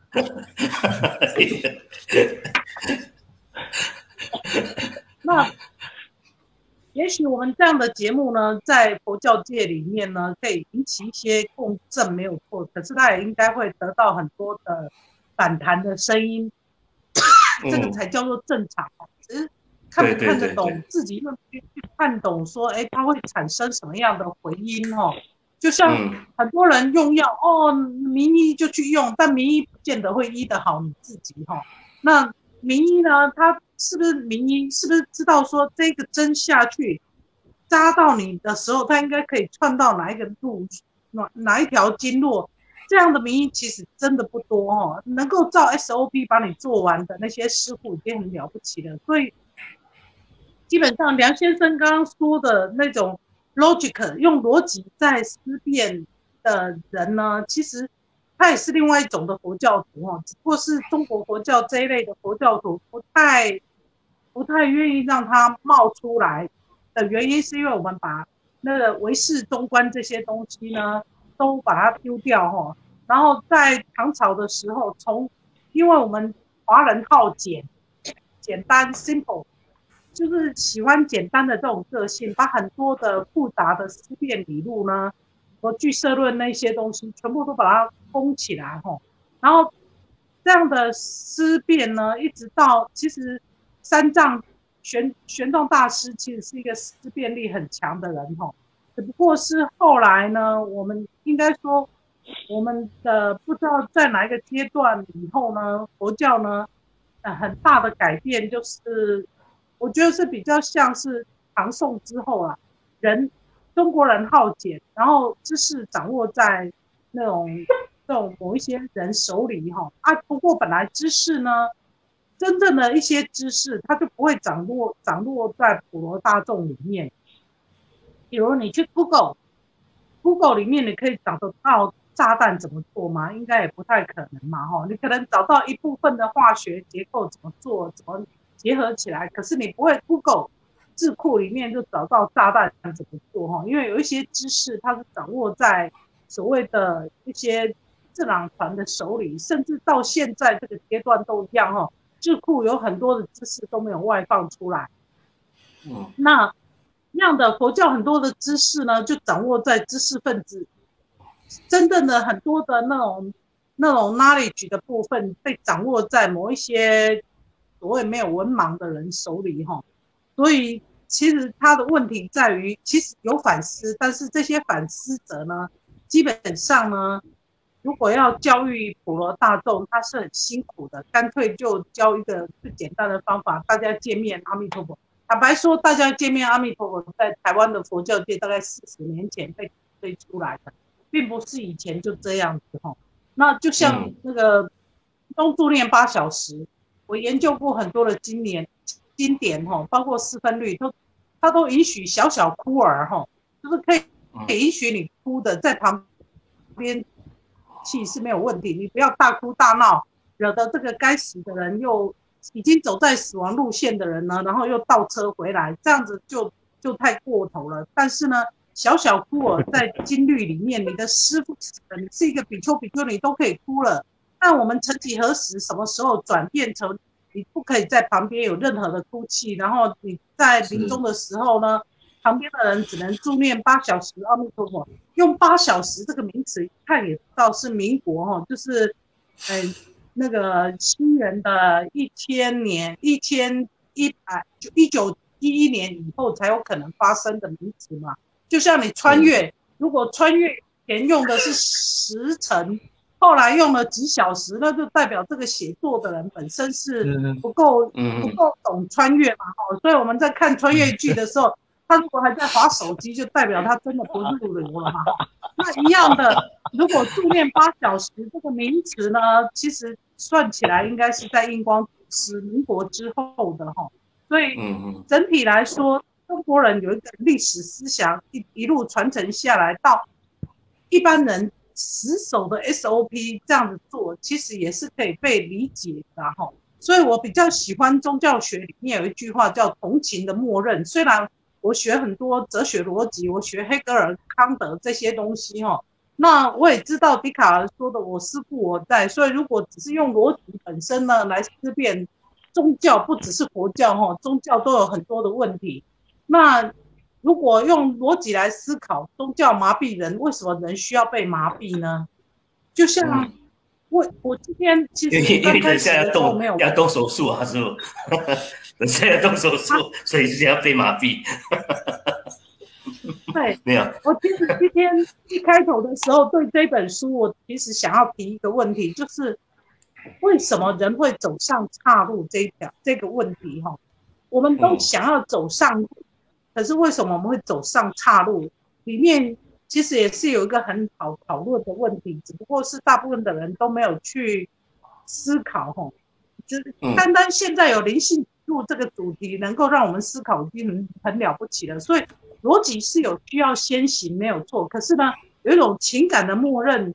这也是为什么我我尽管学了这么多逻辑思辨哈的能力，但是我没有选择还俗的原因，是因为我背后还有一个宗教的经验、宗教的情感情怀。那宗教的情感本身呢，它并不需要太多的说去思考，说我师傅有没有问题啦。佛教界宗教团体有没有问题啊？这也是回应那个刚刚的江先生在说的，那个很多问题都发生在宗教团体，不在宗教本身哈。宗教团体才是大问题的所在，因为是人的关系。那宗教本身可能没有那么多的问题，所以我比较喜欢活在宗教里面，告诉我的另外一种的情有情感、有温度的世界，但我不会去。依附在任何一个团体，我已经思考过这个问题很多次。就是当我依附团体，就像我第一次讲的那个，当我有靠边站了以后，我就不再是中立哈。所以一样的，今天那个歧路亡羊里面的歧路，是因为我们一接引的人多半都是有一个 stand，有一个立场在的。然后因为我们的情感投射，对我们的情感投射，觉得哎，这个很像妈妈，各位什么林哈。然后呢，觉得哎，这样的妈妈型的人物呢，大家就很喜欢哦。像我就绝对做不了那种号召几百万的信徒哈，因为我就不是那种软言未语这样的人物哈，我没有办法去告诉你说各位什么人哈，各位某某某哈，那。老师，你要装一下也可以，也蛮像的，可以装一下，偶尔装一下也可以哈。没有，我们的这一秒的，老师很向善哦。应该算是第一个申请去那家医院实习的人了哈。所以我我后来选再去进入那个系统里面，是因为我看到了问题点哈。然后，嗯，这里面还有就是宗教团体要建立宗教团体，它一定有正言堂、有义言堂。我其实用这个翻译哈，是用那个 Pierre Bourdieu 的法国的宗教社会学家，法国的社会学家皮尔·布迪尔哈 Pierre Bourdieu 他所讲的一个理论，就是当我们呢，就像我们现在在这个直播的那个那个画面里面，都有一个一个的框架哈，那我们在。这个框架里面才会变成是论坛里面的参与人，所以当你离开这个框架以后，你就不会是论坛的参与人。那在这个里面的人呢，就叫做正言堂哦，我把它翻译成正言，就是那个单一的取向的人哦。然后当我离开这个框架里面，可能在你外面留言的这个叫异言堂哈，就是不同的语言呢，那个那个 mon 本来是 mono，然后外面的人是 auto，就是。各种多音的声音都可以出来的这种系统呢，其实如果作为一个宗教人呢，越走越深入的时候，其实它可以它是可以容纳极一极多的，就是你也可以容纳一种声音，你也可以容纳多种声音哦。因为当我自己本身呢很很幸运的，就是我自己本身读的是比较宗教，所以呃从医疗转入宗教以后。对我来说，我的眼界有不同的看法哈。那这个这个看法里面，就是我不再走入那么完美主义的哈。那宗教人士最先需要抛掉的一个问题，回应那个那个那个呃，糟了我啊，正位的问题就是那个呃，我们大部分的佛教徒需要先思考的，先思考的就是。我们到底在学什么？我们到底在学的是一个人呢？模仿一个人呢？还是我们真的是照着佛陀给我们的指示？他佛陀一开开始的时候，那个前面十二年没有做什么教育系统，哈，没有做这么多的 SOP，就是戒律学这些东西，是因为大部分人一听就懂了。可是呢？后来的人呢？为什么前面十二年是无学生？你不用特别用功学，你一听就知道是什么问题。可是我们现在的人需要制定这么多 SOP，是因为加入的人很多了哈。那这也是《歧路亡羊》里面的第一个大现象，就是因为灵性灵修这一条道路，或者是灵性的修炼这一条道路，或者是禅修，anyway 各种的修炼的道路呢？它是一个像海洋一样的广阔的东西，那这种海洋一样的广阔呢，很难言说哈，un unspoken 哈，就是你不能直接说出它是什么哈，所以威廉·詹姆斯他里面讲的那个进入神秘经验者，他一定第一个进入的就是无法言说，很难很难一说出口哈，这才符合禅宗所说的。说是一物即不中哈，你说它是某个东西，就不是中道了。你当你界定说，哎，我现在在打坐打坐，哎，我已经可以进入两小时了，然后都不用有任何的思考，可能呢，你只有入定，并不是你真的修禅了哈。你没有止，你只有止没有观，所以你可以知道说，哎，两小时之后，我们意识就可以飞出来。这是我自己本身在修缅甸禅法的时候，我自己很深的体悟哈。那也是因为对宗教有情感哈，所以呢，可以让我自己慢慢的抛开那个完美主义的个性。然后，其实他也在讲的是另外一个问题，就是我们所谓的宗教经验本身呢，那种真就像弗洛伊德讲的海洋感的这一部分，才是我们任何做形式逻辑在分析的人呢，都会把海洋感先把它放入一个刮胡里面哈，然后就。等着未来呢？也许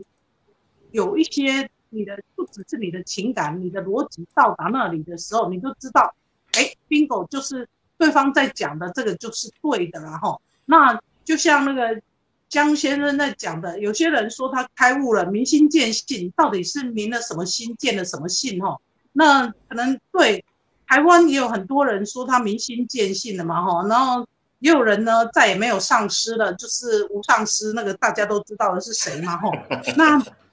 对，这些都是为了建立团体，想要让人歌功颂德的，然后，所以基本上呢，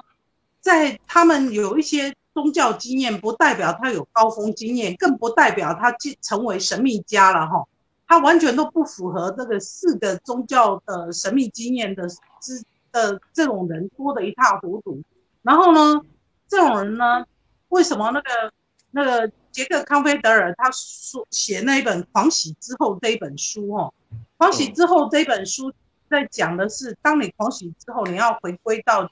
日常的生活。所以，如果你的日常生活里面没有油盐柴米酱醋茶呢，基本上那个那个人哦，可能是有问题的。一份是海德格在在那个。德国的黑森林里面，它一样是，既然你寓居于世，你就不可能自己一个人就可以过活的哈。那你说你可以在山上闭关，再怎么样，你还要靠这个地球养你哈。所以，除非你没有这个形体，已经不需要脱离地球了，不然你怎么样都是一个不完美的人哈。所以，你能够能够抛开你原来对于完美的要求吗？你能够不要那么洁癖吗？这可能是。反思的第一步，哈，就是开始去思考，我进入这个宗教团体是在找寻什么样的一个我。如果可以接受不完美我的话，就可能是比较好的一条道路啊。所以，你能不能接受一个不完美师傅？你的师傅本来就不完美，如果你帮他美化、合理化你的师傅本身，他就是活在完美主义里面，哈。那先绕开完美主义的时候呢？其实就是一个很重要的关键。然后另外刚刚那个那个呃嗯新那个那个新什么忘了名字，哎，因为距离实在太遥远了哈。那他刚刚讲的那个哎喜欢到团体里面去共修哦，其实我们基本上在哎基本上进入团体，我也曾经在团体共修很多年了哈。团体共修它有它的好处，就是你本身呢。可能刚开始萌发一点点道心呢，可能只有十分，可是别人帮你撑着，你这个竹子不会被风吹就倒了哈。所以共修它确实有它的力量，但是我们大部分的人进入共修都在找一个归属感，所以呢，我其实蛮认同基督宗教，特别是基督教他们做团契，让你在里面唱歌，让你抒发情绪这部分呢，其实佛教做的并不好哈，就是佛教界里面呢，其太跟人太疏离，都在做自我完美化的部分而已哦，他没有太接近人性化的部分，所以越活就越像一个那个可以装那个装一个相框嘛吼，然后就开始拜上水果这样子，听得懂吗？没有，就是你把你自己的 你自己再装一个相框，然后人家就拿水果来拜，然后对。再加上个黑布条，然后就是哎，各位上墙哈，然后基本上我们大部分都把自己当成那样的人，就是死者来生活哈。然后其实不是向死而生哈，那个向死而生，他还是活在这个人世间。可是大部分的人是已经把自己当死人，然后还给自己美化一个善解一个名词，叫做我是厌离娑婆哈。所以。台湾的应该是说，那个净土中呢有很大的问题，需要重新再思辨，就是你到底是因为对人的讨厌，还是厌离娑婆的一种真的了解这个娑婆哪里是苦的，或者是说你已经完全走过娑婆这个世界了，然后知道苦跟乐在哪里了哈。所以其实大部分的人都还在摸索当中，一本是我自己哈，我也在摸索当中哈。所以本身这些为什么会走上歧路？哈，是一个值得探讨的问题啦。就是不管你是开始先从自己的完美主义，然后知道自己的完美主义有洁癖、有母亲的问题、有恋父情节这些，当你开始走回来内在旅程的时候，这个叫内在的一个 journal 哈，就是一个旅行的旅程哈。那这个内在旅程呢，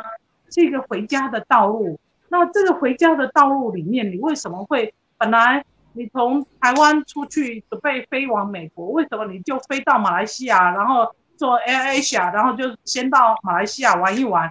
然后又觉得哎新加坡也不错哈，然后就在这里周游列国，等到你预计一天两天之内可以到美国，结果你两年之后还没有到美国，为什么你会走走到那个偏差或者叫做绕道而行呢？这中间你为什么会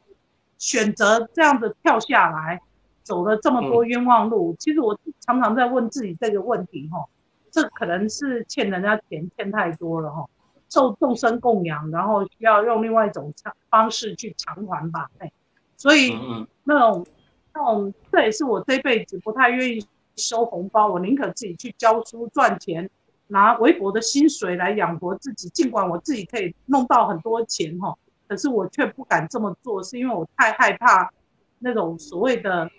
黑心钱，然后就是所谓黑心钱，其实不是黑心，对方都是一颗虔诚的供养心，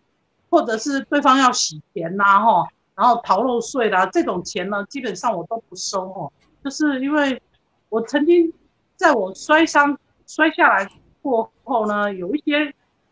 所谓的特殊能力呢。当我收这个红包哦，还没离手我就感冒，因为对方呢，他的小孩已经感冒五年都没有好哦，常常体弱多病。我只是收台币可能一两千块，但是我却承接了那个感冒，然后那个小孩子开始好了。你说他有没有消人家的业障？有了哈，但是我自己觉得，我用这种方式在消业障哈，那种只是换取微薄的薪水。然后你可能要感冒好几个礼拜哈，我觉得这样子做似乎不是佛陀在教我这种本怀，他让我有身体感的没有错哦。那嗯，知道了身体感之后呢，然后知道业障的转移之后哈，可是我却不敢这么走，就是因为我怕我自己在这条路上又耽搁了很久哈。所以一样的歧路为什么会让你在中间选择不断下车哈？是因为你选择了。某一种东西吸引了你，那这也是为什么说到底是什么东西吸引你？可能需要先去看到，我们是因为恋父情节吸吸引我，所以我皈依男众法师，还是因为恋母情节，所以我皈依女众法师？然后或者甚至都不是恋父恋母情节，哈，完全就是一种那种。对方呢穿着的天衣很漂亮嘛，所以我就皈依了无上师，这样的人也大有人在嘛。起码无上师这样出来好，白话文也够多了。然后助人的问题，嘿，就是一样，我们到底是被什么吸引呢？导致于我们觉得这里就是对的哈，就是，嗯，他可能永无尽没有错了，修炼可能也永无止境，甚至。到达修炼之后，后面还有东西哈，说不定是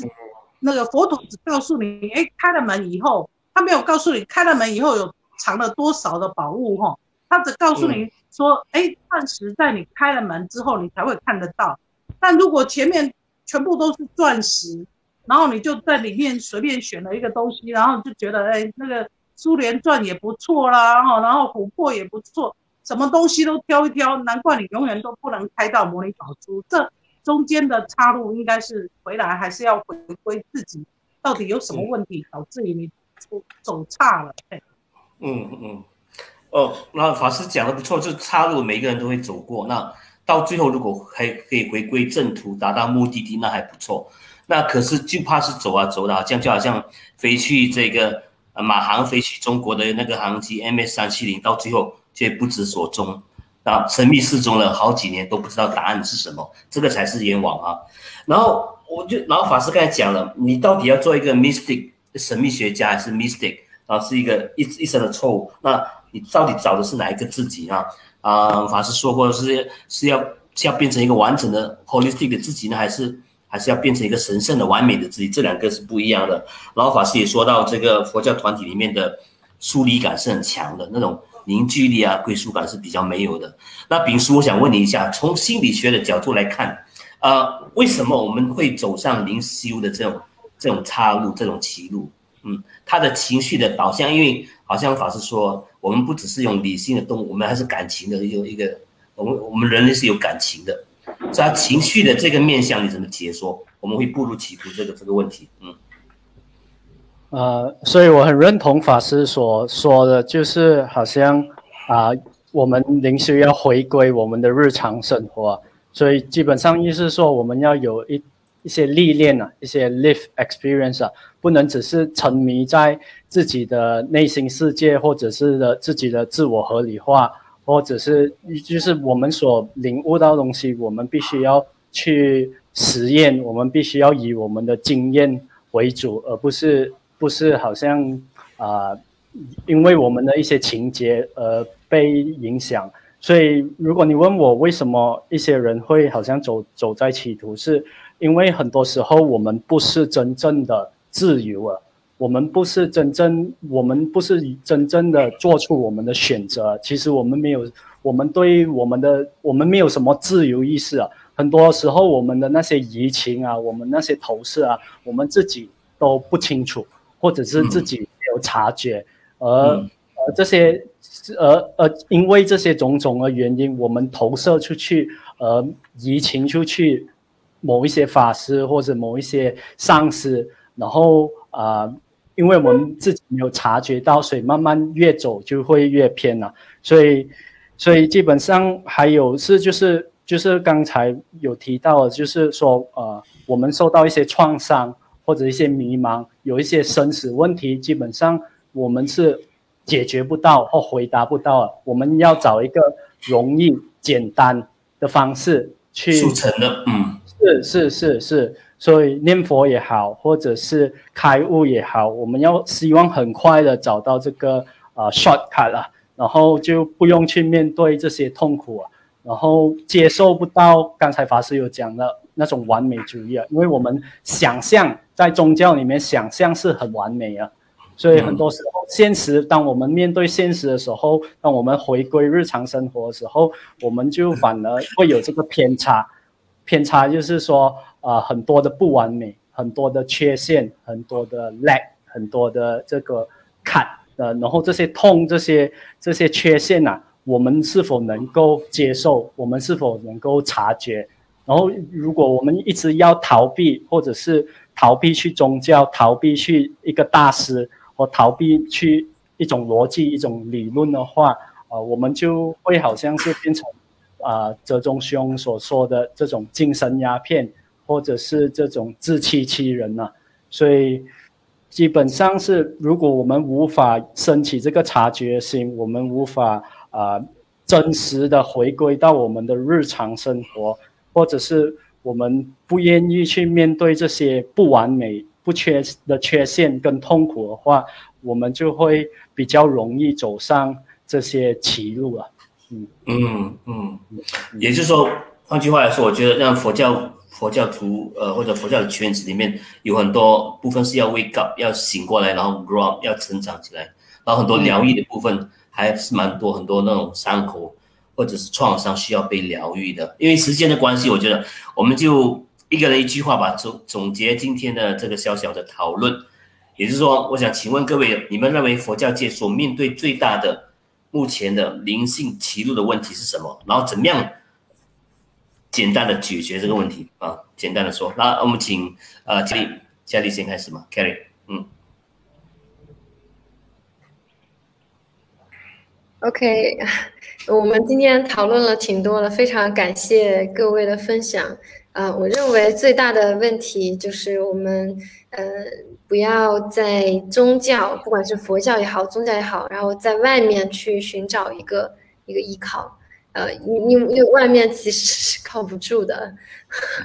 靠自己哦。真的就是我认为，如果要真正的去，呃，就是过一个幸福快乐的人生，因为其实我们很多人去寻找宗教。呃，这种依靠其实都是为了，就是内心可能很痛苦，然后想要快乐，都是为了目的，想要我们内在快乐幸福。那么我们真正自己要去过上内在快乐幸福的生活，那么就是一定要去呃，真正是去面对自己，然后就做一个，就就踏踏实实的去做好一个人。我觉得，就是因为做做这个做这个好的人，然后其实其实就是怎么说呢？嗯。嗯，有有有很多很多的一些方法，然后各种各样的一些知识，其实都都都在告诉我们怎么样去做一个好的人。其实我们内在是有一种呃天生的自然的一种道德感。其实我们内在是知道做什么事情会带给我们幸福。其实我们内在深深的知道这一点。然然后我认为就是我们一定要去呃，也不是一定要，就是尽量的尽量的去嗯友善的对待身边的人，嗯，然后这这这个是很很重要的，因为嗯。只有当我们和身边的人的关系越来越好，我们的那种幸福感真的会很强。然后，呃，我们对很多宗教的道理也好啊，其实其实呃还有还是一些嗯佛法上的一些道理也好，才会慢慢的会有一种就是会有更深层次的一种理解吧。我觉得，嗯，就先做好一个一个做一个好人。嗯，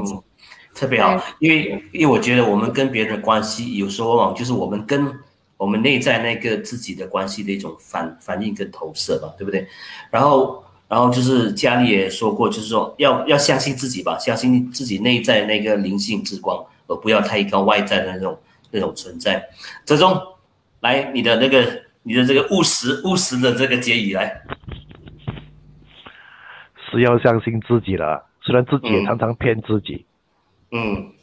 特别是在宗教。这个领域里面，呃，太多人投入了自己的一些时间、金钱，甚至是他自诩的身口意啊、生病进去之后，你要他认为他是走错的，他不愿意的，他一定合理化自己行为的。投资那么多进去的，嗯，对啊，所以禅师不是说吗？源流不只问如何，真招无变说是他，都想说是他的，倒不如现实一点。如果佛教徒来讲，不如是养子在佛陀。玩就在人格，那么人成是不是佛成不重要，不过这个比较正现实，就这一句话，稍微改一改跟大家分享，谢谢。嗯嗯，啊，竹子回来了哈，那个黄舒骏有首歌叫做《雁渡寒潭》，里面讲说，什么风来疏竹竹竹竹过，呃，风过竹不留声，雁渡寒潭雁去潭不留影。然后那首歌里面有特别一句话说，呃，有些人很多人在都在贩贩卖台面上的谎言。那有些人生活在世这个世界，却向往另外一个世界。刚好讲对了，就是道心法师所讲的，很多净土中的人呢，他们活在这个现实世界，就追求向往另外一个世界的虚幻的美好。那竹子，你认为宗教界，特别是佛教界的这个呃误入歧途的现象，你有什么感想？那我要讲，我们要讲解决这个问题，用短短的几句话说一说，嗯。别人诚实而言，更重要的是人要对自己诚实。嗯，要看到自己真正在宗教中也好，在灵性中也好，自己真正想要的是什么。嗯，我有一个朋友曾经说，他说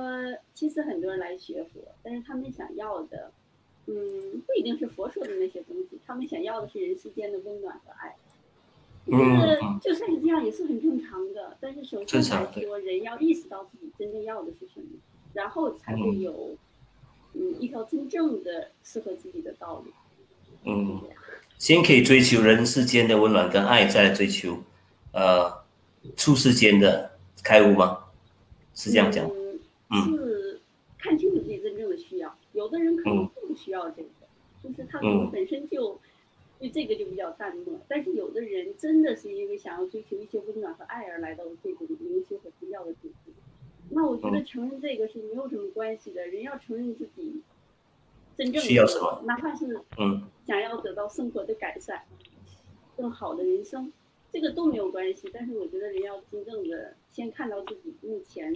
的状况和自己想要的是什么。嗯，坦诚跟踏实哈。嗯，好，谢谢朱子啊，丙叔。来你的结语，嗯。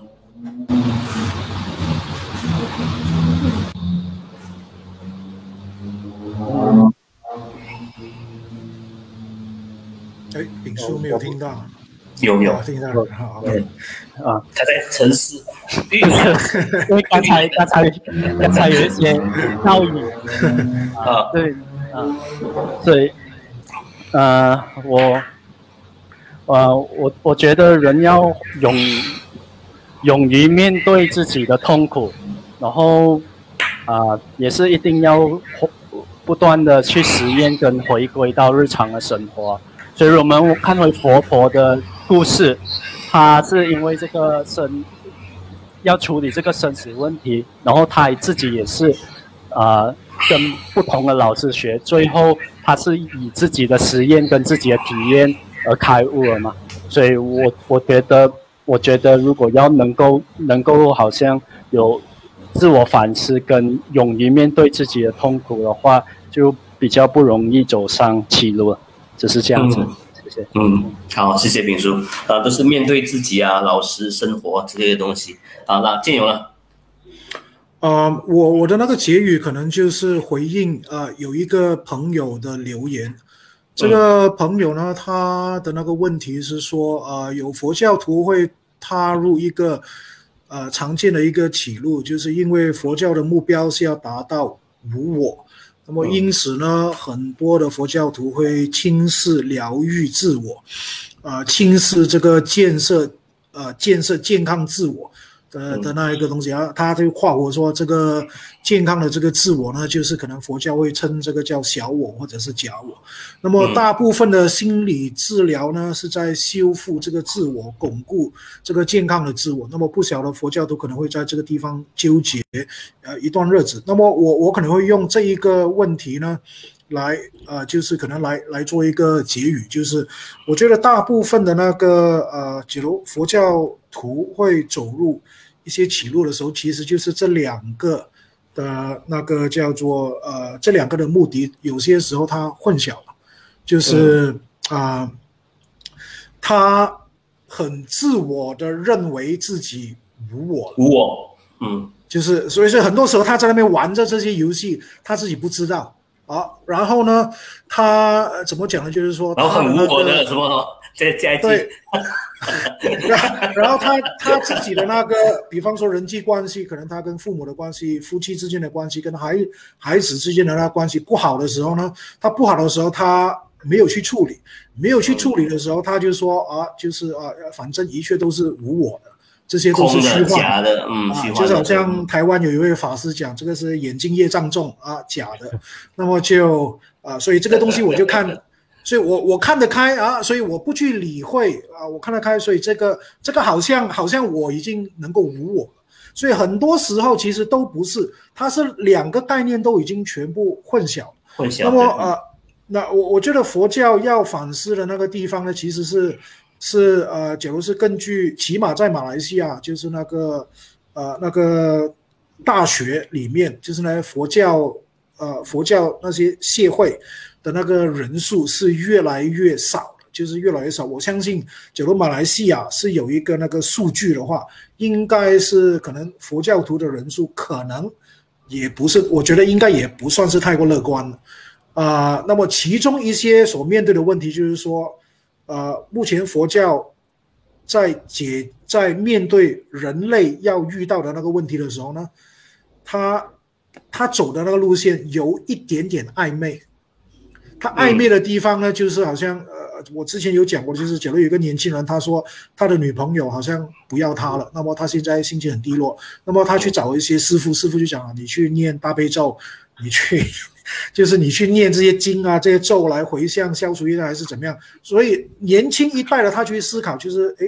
我念的这个东西真的跟我解决这个问题真的能够就是衔接到吗？嗯，OK。呃，那么所以这一边，我我觉得就是就是刚才这位朋友问的那个问题，是那个佛教讲的那个无我和那个呃我们讲世间的那种叫做健康的自我这两个课题中间的那个留白，它呃目前的这个这个佛教不去解决的话呢，啊，就是理论上以后那个宗教信徒在面对世间问题的时候啊，他的那个叫做。他对这个宗教能不能够拿到一些有养分的东西呢？的那个那个啊，我觉得那个问题就可能很大。就是我我想要讲的呢，就是说，假如再继续这样发展下去，我们可以看到，就是说，一神教的宗教呢，它没有否定你的那个我，它是认可的啊。就是用回今天我们讲那个小插曲，就是佛教不讲灵魂。一神教是讲灵魂，他说你是有灵魂的，你的灵魂上帝是很重视的啊。所以他是认肯定，他不是否定，他是肯定你有了这个东西。那么，当生活跟福乐是肯定对，他是全部是肯定的。然后呢，一旦你遇到问题的时候，那么他他的那个解决的方法是简单的。简单的意思就是说，因为整个见地跟他要解决的那个方法是相应的，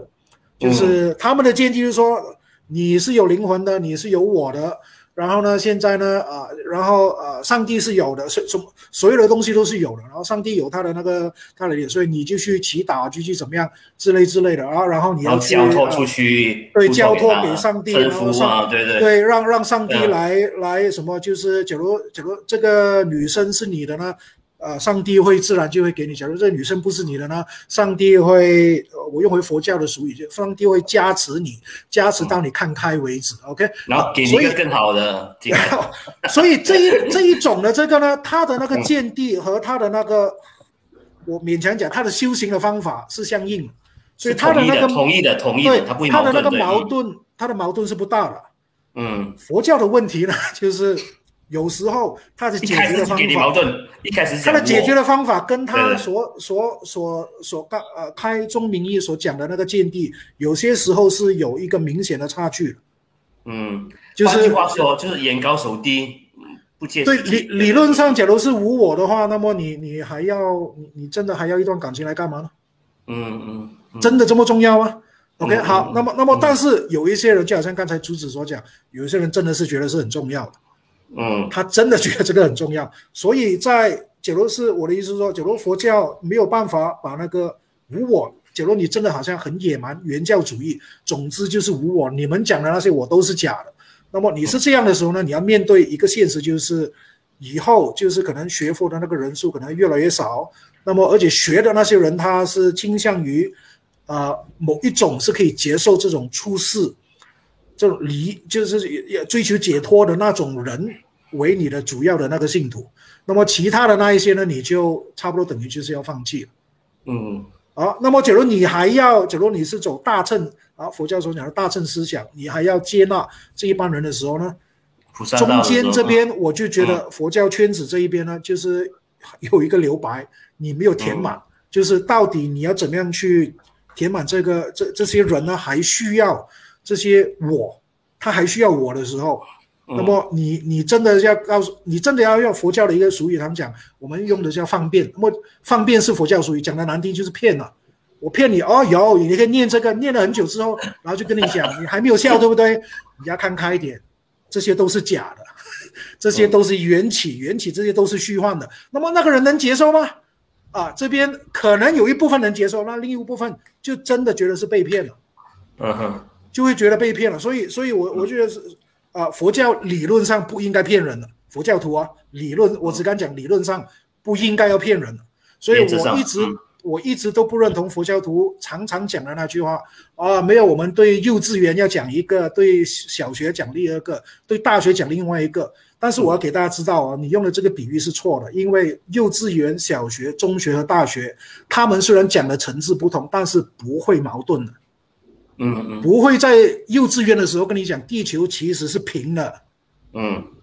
然后中学跟你讲地球其实是圆的，现在变圆了，绝对没有这一回事了，明白吗？就是小学、中学和大学，它的那个不错，它有它有比较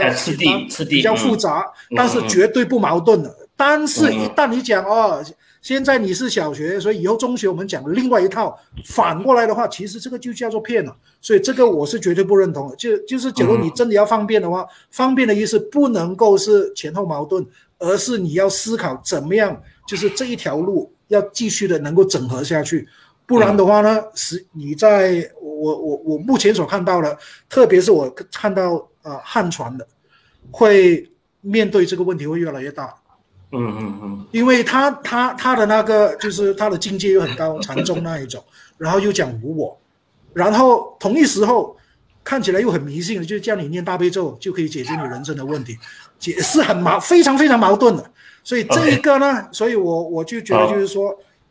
中。那个叫做终极问题是这个我的那个，好像刚才那位朋友问的，我的定位不明啊啊！这一边一定要一定要有办法填补，整合整合这个这个这个这个这个鸿沟啊！家里有话要说来，嘉玲，嗯，关于我这个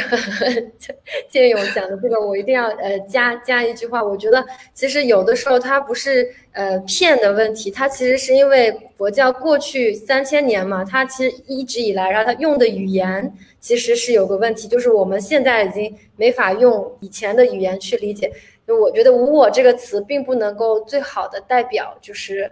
嗯这个这个意思，我觉得可能用“无私”更好一点。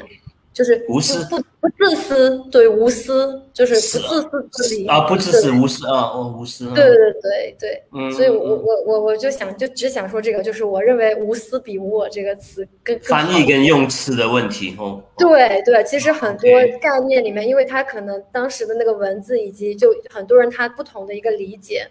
所以，所以我我认为，就是如果我们就像建勇说的刚刚那个问题，如果我们能够，嗯，用不同的这个语言，然后让大家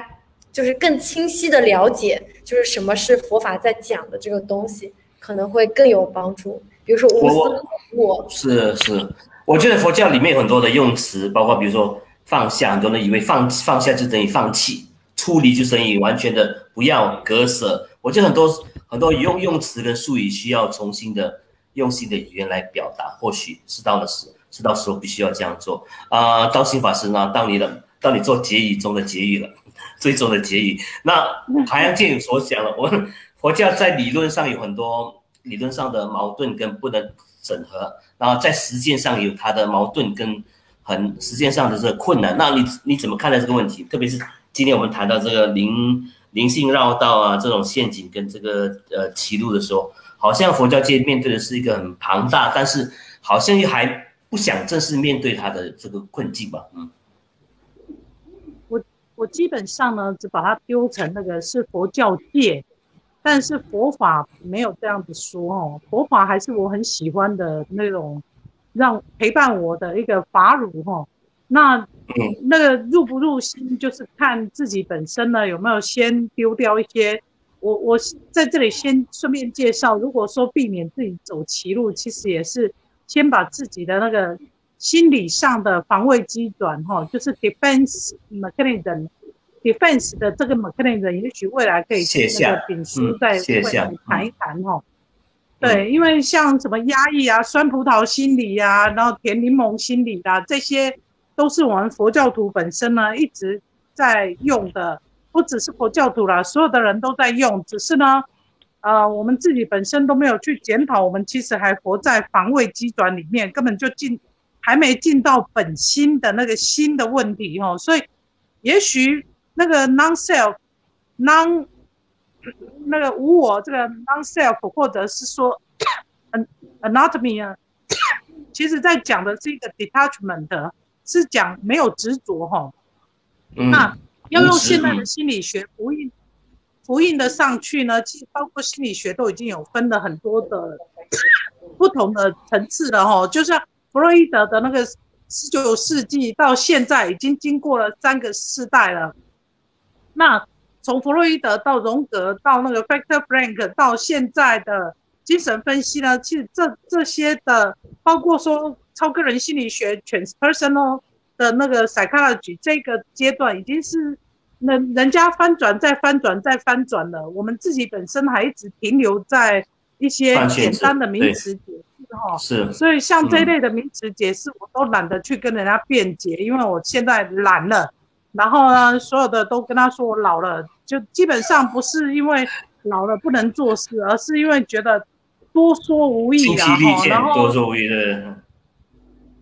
对，那真的叫做戏言，因为很多人就根本还活在第一个阶段里面，就是连自己有什么防卫机转都不知道，然后只是为了要喜欢跟人争辩，尤其很多在网络上愿意留言的人，其实多半我答我特别看我们的华山论剑的部分，很多留言者我基基本上认为他精神上是有点。所谓的视觉失调的问题的，然后，那我们也可以叫它是残病，也可以叫它是宗教病，然后，但那留言我都看了一下，但也不愿意回应的原因，是因为连问题发问者都不知道他自己有问题，哈，所以还不如回来归一点讨论自己到底有什么疾病，有什么样的症状，哈，然后能不能帮自己先破解掉自己的防卫机转，把这个这个最硬的这一个壳哈，就是这个我执的最硬的壳先破一点点掉，用心理学的方法帮自己破一点点掉，可能对于未来的交谈还有点帮助这样子。